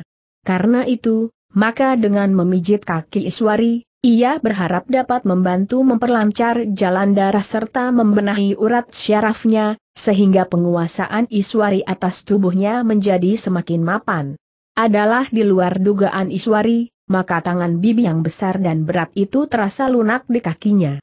Rasa-rasanya darahnya pun telah mengalir semakin lancar dan urutan urat syarafnya pun seolah-olah menjadi semakin peka. Tanpa terasa, maka Iswari itu pun kemudian benar-benar telah tertidur nyenyak. Sementara Bibi dengan penuh kesungguhan hati masih saja memijit kaki Iswari rasa-rasanya hatinya menjadi berat untuk melepaskannya. Sebaiknya kau tidak melakukan perang tanding lagi, bisik bibi sambil mengelus kaki Iswari, sepantasnya kau adalah seorang ibu yang mengasuh anakmu di rumah. Menyediakan makan dan minumnya, mendidiknya dengan lembut, mengajarinya mengenal sastra dan bercerita tentang baik dan buruk serta keluhuran budi. Lebih dari itu, kau ajari anakmu mengenal yang maha pencipta dan kau ajari anakmu itu berbakti kepadanya. Aku tidak pernah mendapat kesempatan untuk melakukannya karena sejak remaja aku sudah tersesat sehingga aku memang tidak pantas mempunyai anak. Tetapi anak itu kau punyai, Iswari. Namun kenapa kau tidak sempat melakukannya, dan bahkan anakmu satu-satunya itu harus disisihkan oleh pertentangan yang tidak berkeputusan. Tanpa disadarinya, dari mata serigala betina itu telah menitik lagi air matanya yang hangat. Namun dengan cepat ia pun telah mengusapnya. Ketika Iswari kemudian telah benar-benar tertidur nyenyak, maka bibi itu pun telah melepaskannya. Ia tidak mau justru akan dapat membangunkannya. Ia ingin Iswari benar-benar beristirahat. Tidurlah anak manis, desisnya. Setiap kali Bibi masih saja bersyukur bahwa ia tidak membunuhnya di saat Iswari mengandung risang atas perintah Ki Wiradana. Bahkan saat-saat itu adalah garis batas ia melangkah kembali ke jalan lurus setelah untuk waktu yang lama ia menjelajahi jalan-jalan gelap. Tetapi Bibi tidak keluar dari bilik itu. Ia pun kemudian begitu saja berbaring di lantai di sebelah pembaringan Iswari. Namun Iswari tidak mengetahuinya, karena Bibi itu bangun lebih dahulu dari Iswari. Menjelang dini hari Bibi keluar dari bilik itu dan pergi ke pakiwan. Iswari terbangun di saat fajar mulai menyingsing. Perlahan-lahan Iswari bangkit dari pembaringannya. Ternyata sesuatu telah terjadi pada wadaknya. Ia tidak mengira bahwa akibat pijitan bibi pada anggota badannya, maka rasa-rasanya tubuhnya menjadi semakin mapan. Sementara arus darahnya terasa lebih lancar di seluruh tubuhnya. Apakah gejala yang terasa ini menguntungkan atau sebaliknya? Bertanya Iswari kepada diri sendiri. Ketika ia kemudian keluar, maka langit pun nampak kemerah-merahan. Ayam mulai bekejaran di halaman. Tanpa memberitahukan kepada siapa pun Iswari telah pergi ke sanggar untuk mengamati gejala yang terasa pada tubuhnya. Sejenak Iswari memanaskan tubuhnya dengan meloncat-loncat kecil. Kemudian menggerakkan tangannya dalam putaran yang ajek. Baru ia mulai mengamati tubuhnya sendiri. Mengamati gejala yang baru dikenalnya sejak ia bangun dari tidurnya. Ternyata bahwa pengaruhnya memang menguntungkan bagi gerak dan penguasaan tubuhnya. Badannya menjadi terasa semakin ringan sehingga ia mampu bergerak lebih cepat. Bahkan ketika ia mulai merambah pada ilmu andalannya Janget Kinatelon, maka rasa-rasanya keadaan tubuhnya menjadi semakin membantu pancaran ilmunya itu. Iswari menarik nafas dalam-dalam. Katanya, ternyata Bibi mempunyai keahlian yang khusus.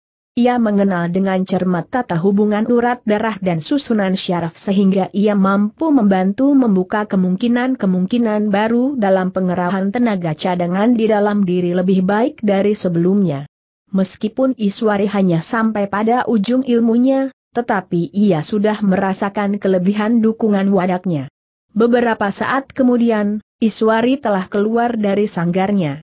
Namun demikian untuk meyakinkan dirinya, maka ia pun telah menemui Nyai Soka. Dengan singkat Nyai Soka mendengarkan laporan Iswari tentang pijitan jari-jari bibi. Dengan pengetahuan yang ada padanya, maka Nyai Soka telah melihat gejala yang ada di dalam diri Iswari. Namun kemudian sambil mengangguk-anggukan kepalanya ia berkata, ternyata serigala betina itu memiliki kemampuan yang khusus. Berterima kasihlah kepadanya. Aku sudah berusaha untuk melakukannya, tetapi hasilnya tidak sejauh yang dilakukan oleh Bibi ini. Jadi menurut guru, Bibi telah membantu meningkatkan kemampuanku bertanya Iswari. Berterima kasihlah kepada Bibi. Penguasaanmu atas ilmu yang ada di dalam dirimu menjadi semakin mapan. Demikian pula ilmu janget kinatelon. Kau memang harus mengucapkan terima kasih kepadanya, berkatanya Isoka. Iswari menarik nafas dalam-dalam. Sambil mengangguk ia berkata, aku akan menemuinya. Iswari pun kemudian telah mencari bibi ke dapur. Ditemuinya orang itu duduk di depan perapian sambil merenungi api yang menyala memanasi periuk berisi beras yang sedang ditanak. Bibi, desis Iswari ketika ia memasuki pintu dapur. Bibi pun berpaling. Sambil bangkit berdiri ia bertanya kau sudah bangun. Aku sudah berada di sanggar untuk beberapa lama, jawab Iswari. Sepagi ini bertanya Bibi pula. Iswari tersenyum. Kemudian dibimbingnya Bibi duduk di amben yang cukup besar di dapur. Bibi terheran-heran melihat sikap Iswari. Bahkan kemudian ia pun bertanya, ada apa? Kau memijit aku semalam Bibi bertanya Iswari. Wajah Bibi menjadi tegang. Katanya dengan gagap, ya, kenapa? Apa aku telah melakukan kesalahan sehingga mempengaruhi ilmumu? Iswari termangu-mangu sejenak. Kemudian katanya, Bibi memang sudah mempengaruhi kemungkinan ungkapan ilmu yang ada di dalam diriku. Beberapa titik simpul syarat yang masih tertutup telah terbuka sehingga jalur penguasaan seluruh tubuhku menjadi semakin mapan. Nyi, wajah Bibi masih tegang, apakah dengan demikian akibatnya menjadi lebih buruk? Tentu tidak. Bukankah kau mengetahui bahwa karena itu, maka segalanya menjadi lebih baik? Bibi, aku ingin mengucapkan terima kasih. Kau telah memberikan kemungkinan baru padaku untuk lebih memantapkan perlawananku terhadap ketamakan dan kerakusan itu, jawab Iswari.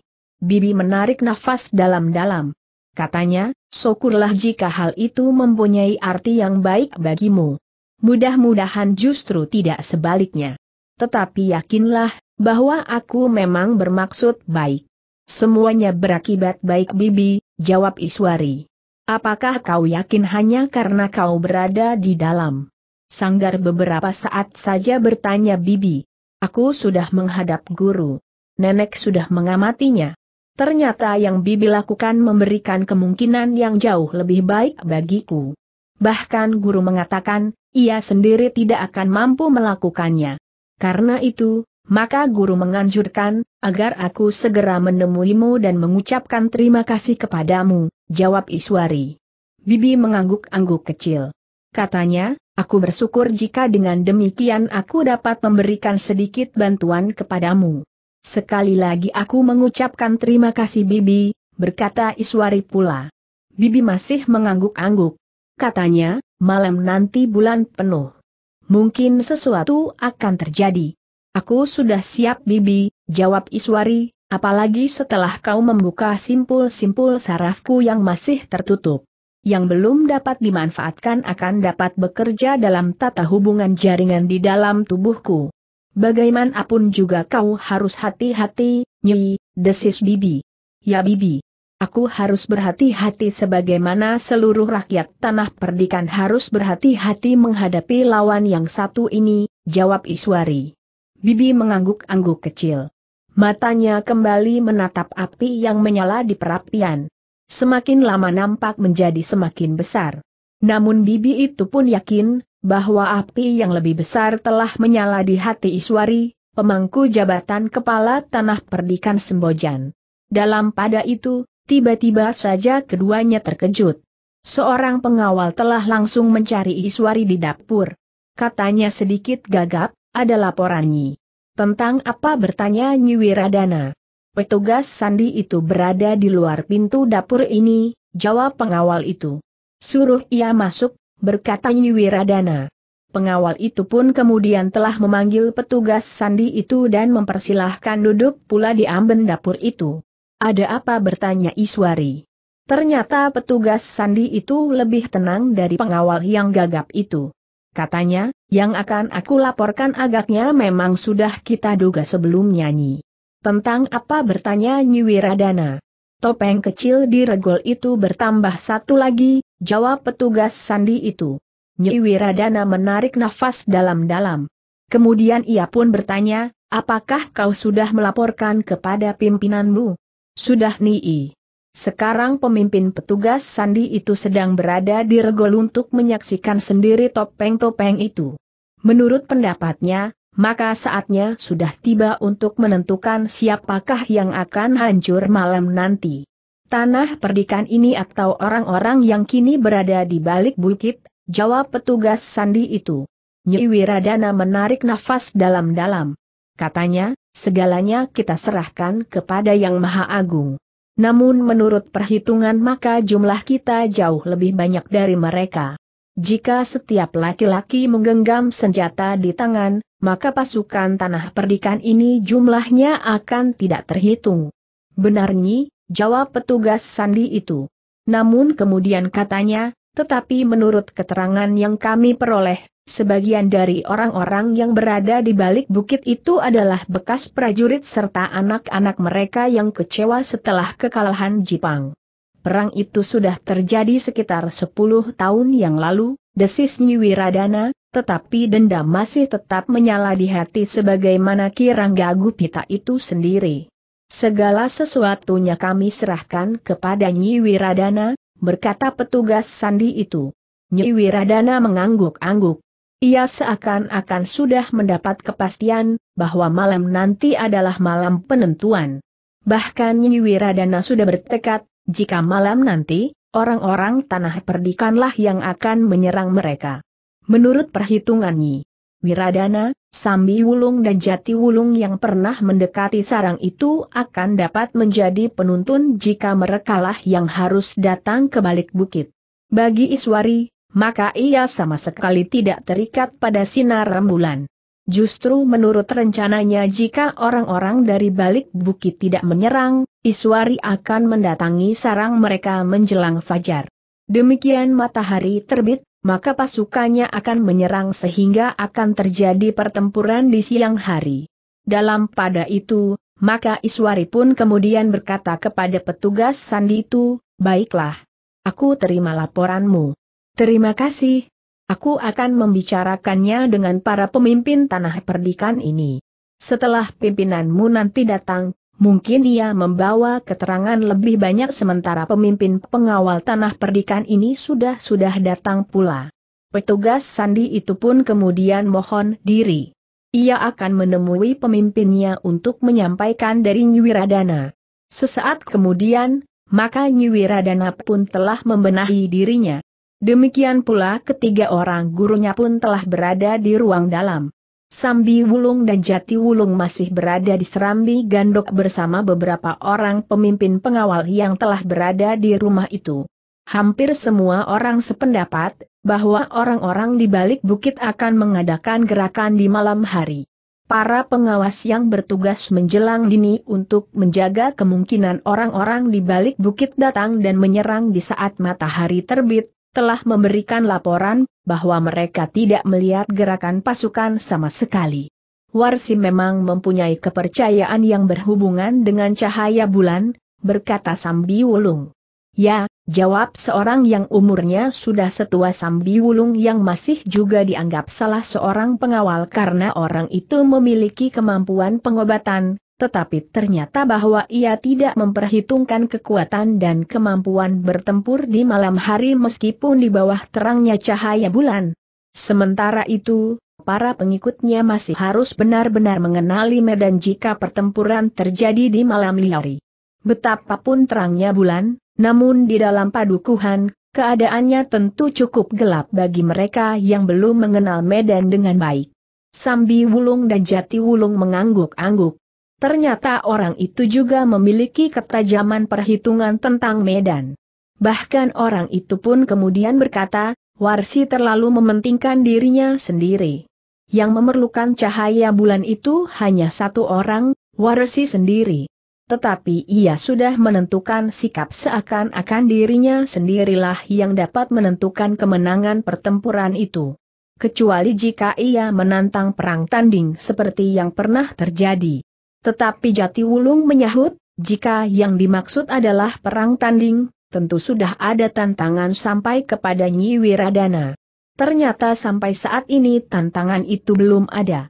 Entahlah jika Nyi Wiradana masih merahasiakannya karena menganggap belum waktunya diberitahukan kepada kita. Tetapi bagaimanapun juga tentu ada orang yang telah mendengarnya. Yang lain mengangguk-angguk. Sebenarnya orang-orang tanah perdikan sendiri menganggap lebih baik bertempur di siang hari. Mereka akan dapat melihat kawan dan lawan lebih jelas daripada di malam hari meskipun diterangi oleh cahaya bulan yang paling bulat sekalipun. Sementara itu di balik bukit, Warsi pun telah berbenah diri. Wajahnya nampak segar dan sekali-sekali ia tersenyum sambil berkata, aku benar-benar sudah siap. Semalam suntuk warsi telah bermandikan cahaya bulan. Ia tidur di tempat terbuka, sehingga seakan-akan jambangan kemampuan di dalam dirinya sudah diisi dengan tenaga sepenuhnya. Sehari ini kita mempunyai kesempatan menyusun pasukan, berkata Warsi kepada Kirangga. Kita akan bertempur malam hari sehingga di siang hari ini orang-orang kita harus banyak beristirahat, berkata Kirangga. Kita mempunyai banyak waktu, berkata Warsi, anak manis itu tidak akan berani menyergap kita. Mereka hanya dapat menunggu. Kitalah yang menentukan kapan pertempuran akan terjadi. Mungkin mereka hari ini bersikap lain, sehingga kita harus lebih berhati-hati, berkata Kirangga Gupita. Tidak. Mereka tidak akan bersikap lain. Sudah menjadi kebiasaan perempuan-perempuan cantik itu hanya dapat menunggu. Kitalah yang akan bergerak dengan perhitungan dan kepentingan kita. Rangga Gupita mengangguk-angguk. Nampaknya orang-orang tanah perdikan Sembojan memang hanya dapat menunggu dengan gelisah. Bahkan dengan ketakutan. Tetapi pemanasan yang pernah dilakukan menunjukkan kesiagaan para pengawal tanah perdikan di setiap padukuhan, sementara mereka pun dapat bergerak dengan cepat dari satu padukuhan ke padukuhan yang lain. Namun Warsi merasa terlalu yakin akan dirinya. Ia nampak gembira semental gerakannya pun seakan-akan menjadi lebih cekatan. Ketika matahari naik ke kaki langit, maka Warsi telah membawa beberapa orang pengawalnya untuk naik ke atas bukit. Sekelompok pengawal telah mendahului mereka untuk meyakinkan bahwa tidak ada bahaya di atas bukit itu. Dengan sikap dan keyakinan seorang panglima perang Warsi kemudian berdiri tegak di atas punggung bukit diikuti oleh Kirangga Gupita.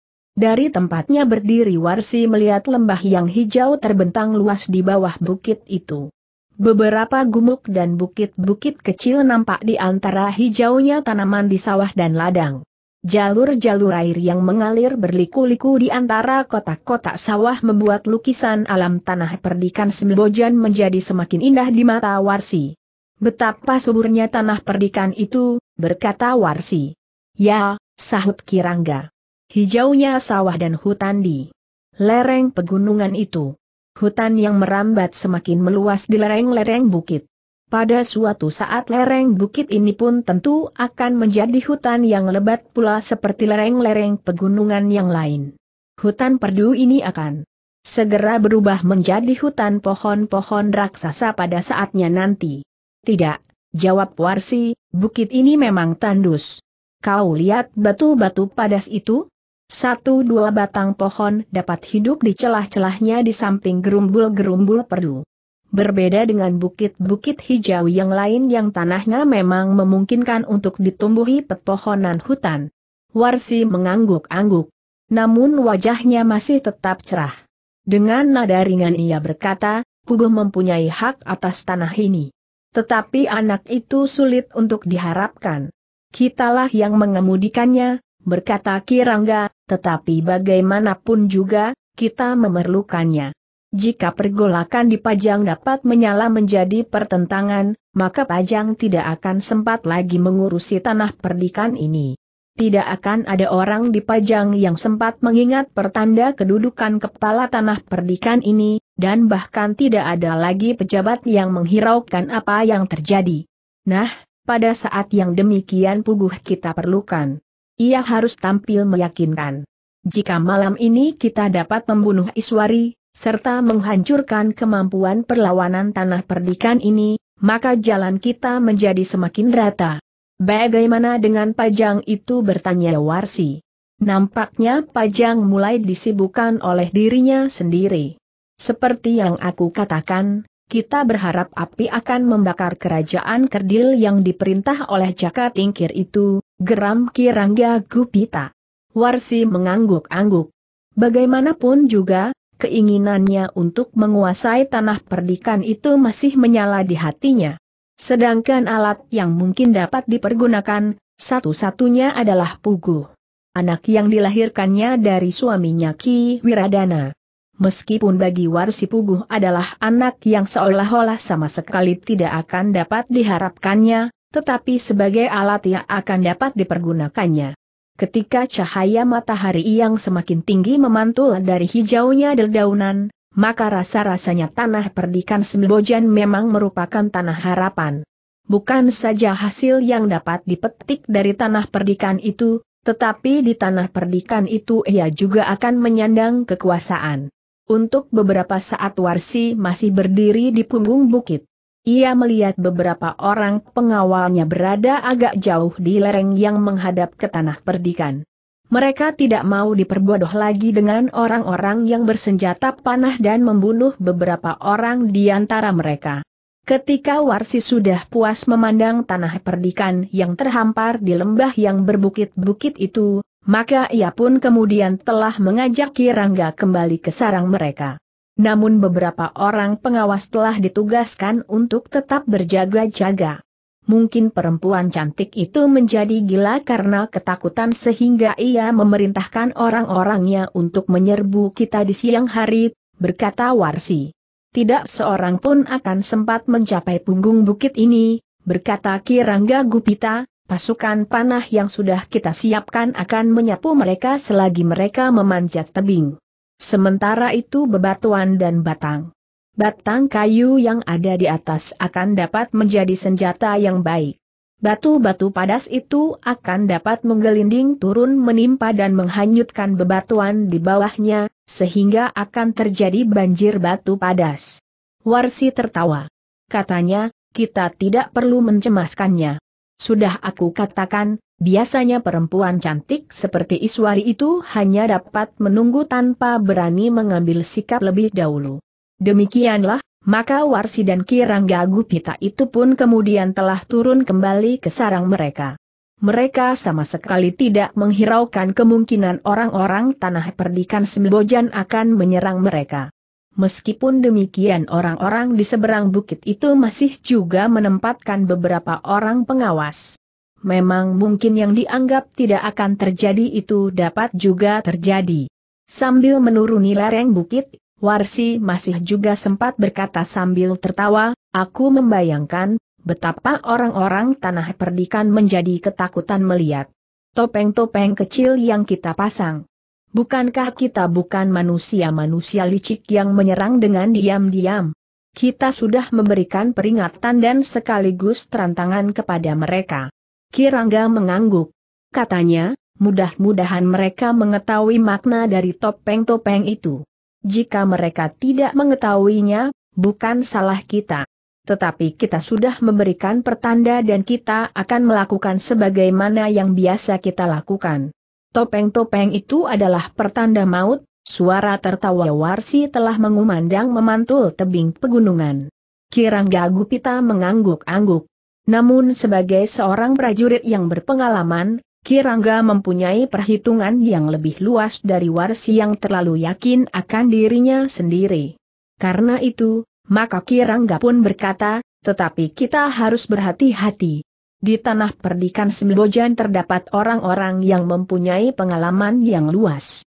Orang-orang tua yang meskipun sudah mulai pikun, namun mereka tentu masih sempat memberikan banyak petunjuk kepada Iswari.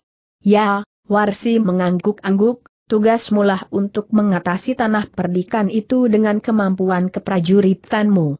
Aku memang kurang mengetahuinya. Aku hanya tahu, bahwa jika aku sempat berhadapan dengan perempuan cantik itu, aku akan membunuhnya. Kau tidak akan dapat melakukannya tanpa dukungan suasana di sekitarmu. Kecuali jika kau menantangnya berperang tanding, jawab Kirangga. Aku tidak yakin ia mau menerima tantanganku. Mungkin ia akan mengelak dengan alasan bahwa ia baru saja sembuh dari sakit. Alasan yang paling pantas dikemukakan untuk mengelakkan perang tanding tanpa menghancurkan harga dirinya. Tetapi sudah tentu ia akan mengajukan syarat waktu yang lain. Orang-orang tanah perdikan Sembojan nampaknya mengetahui bahwa ada hubungan antara ilmuku dengan bulan yang bercahaya di langit.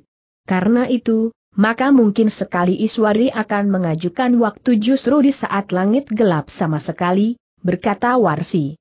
Namun katanya kemudian, kita akan mengaturnya bersama para bekas perwira Jepang.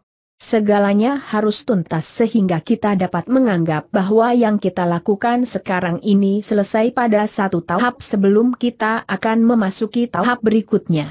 Bersamaan dengan saatnya pajang dibakar oleh api pertentangan.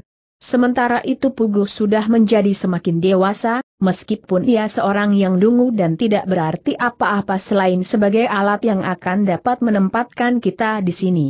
Anak itu tidak boleh terlalu pandai memang, berkata Kirangga. Ia akan tetap dungu seperti ayahnya, sahut Warsi. Itu bukan soal, berkata Kirangga Gupita, semakin dungu anak itu, bagi kita akan menjadi semakin baik. Warsi termangu-mangu. Namun Kirangga pun kemudian tertawa. Katanya, untunglah bahwa anak itu dungu seperti ayahnya. Jika ia cerdik seperti ibunya, maka kitalah yang akan diperalatnya kelak. Warsi tidak ikut tertawa. Wajahnya justru menjadi tegang. Memang terkilas di angan-angannya satu kehidupan yang saat itu dianggapnya paling manis, ketika ia berhasil menjadi istri bakal kepala tanah perdikan Sembojan dan apalagi ketika ia berhasil membalaskan dendamnya, membunuh ayah Wiradana. Namun yang kemudian tinggal di dalam kepalanya kini adalah kebencian. Bahkan kebenciannya telah melimpah pula kepada anak Wiradana meskipun anak itu dilahirkannya sendiri. Anak kandungnya. Betapa segannya ia mengasuh anak itu, sehingga anak itu begitu saja diserahkan kepada seorang yang dianggapnya akan dapat mengajari anak itu serba sedikit tentang olah kanuragan. Bahkan didorongnya anak itu untuk melakukan hal-hal yang dapat membentuk sifatnya menjadi kasar dan garang. Tetapi otaknya harus tetap tumpul sebagaimana ayahnya. Yang memang kurang cepat menanggapi keadaan dengan sengaja dibiarkannya anaknya itu berada di tempat-tempat yang kusam sebagaimana Puguh sering berada di Song Lawa.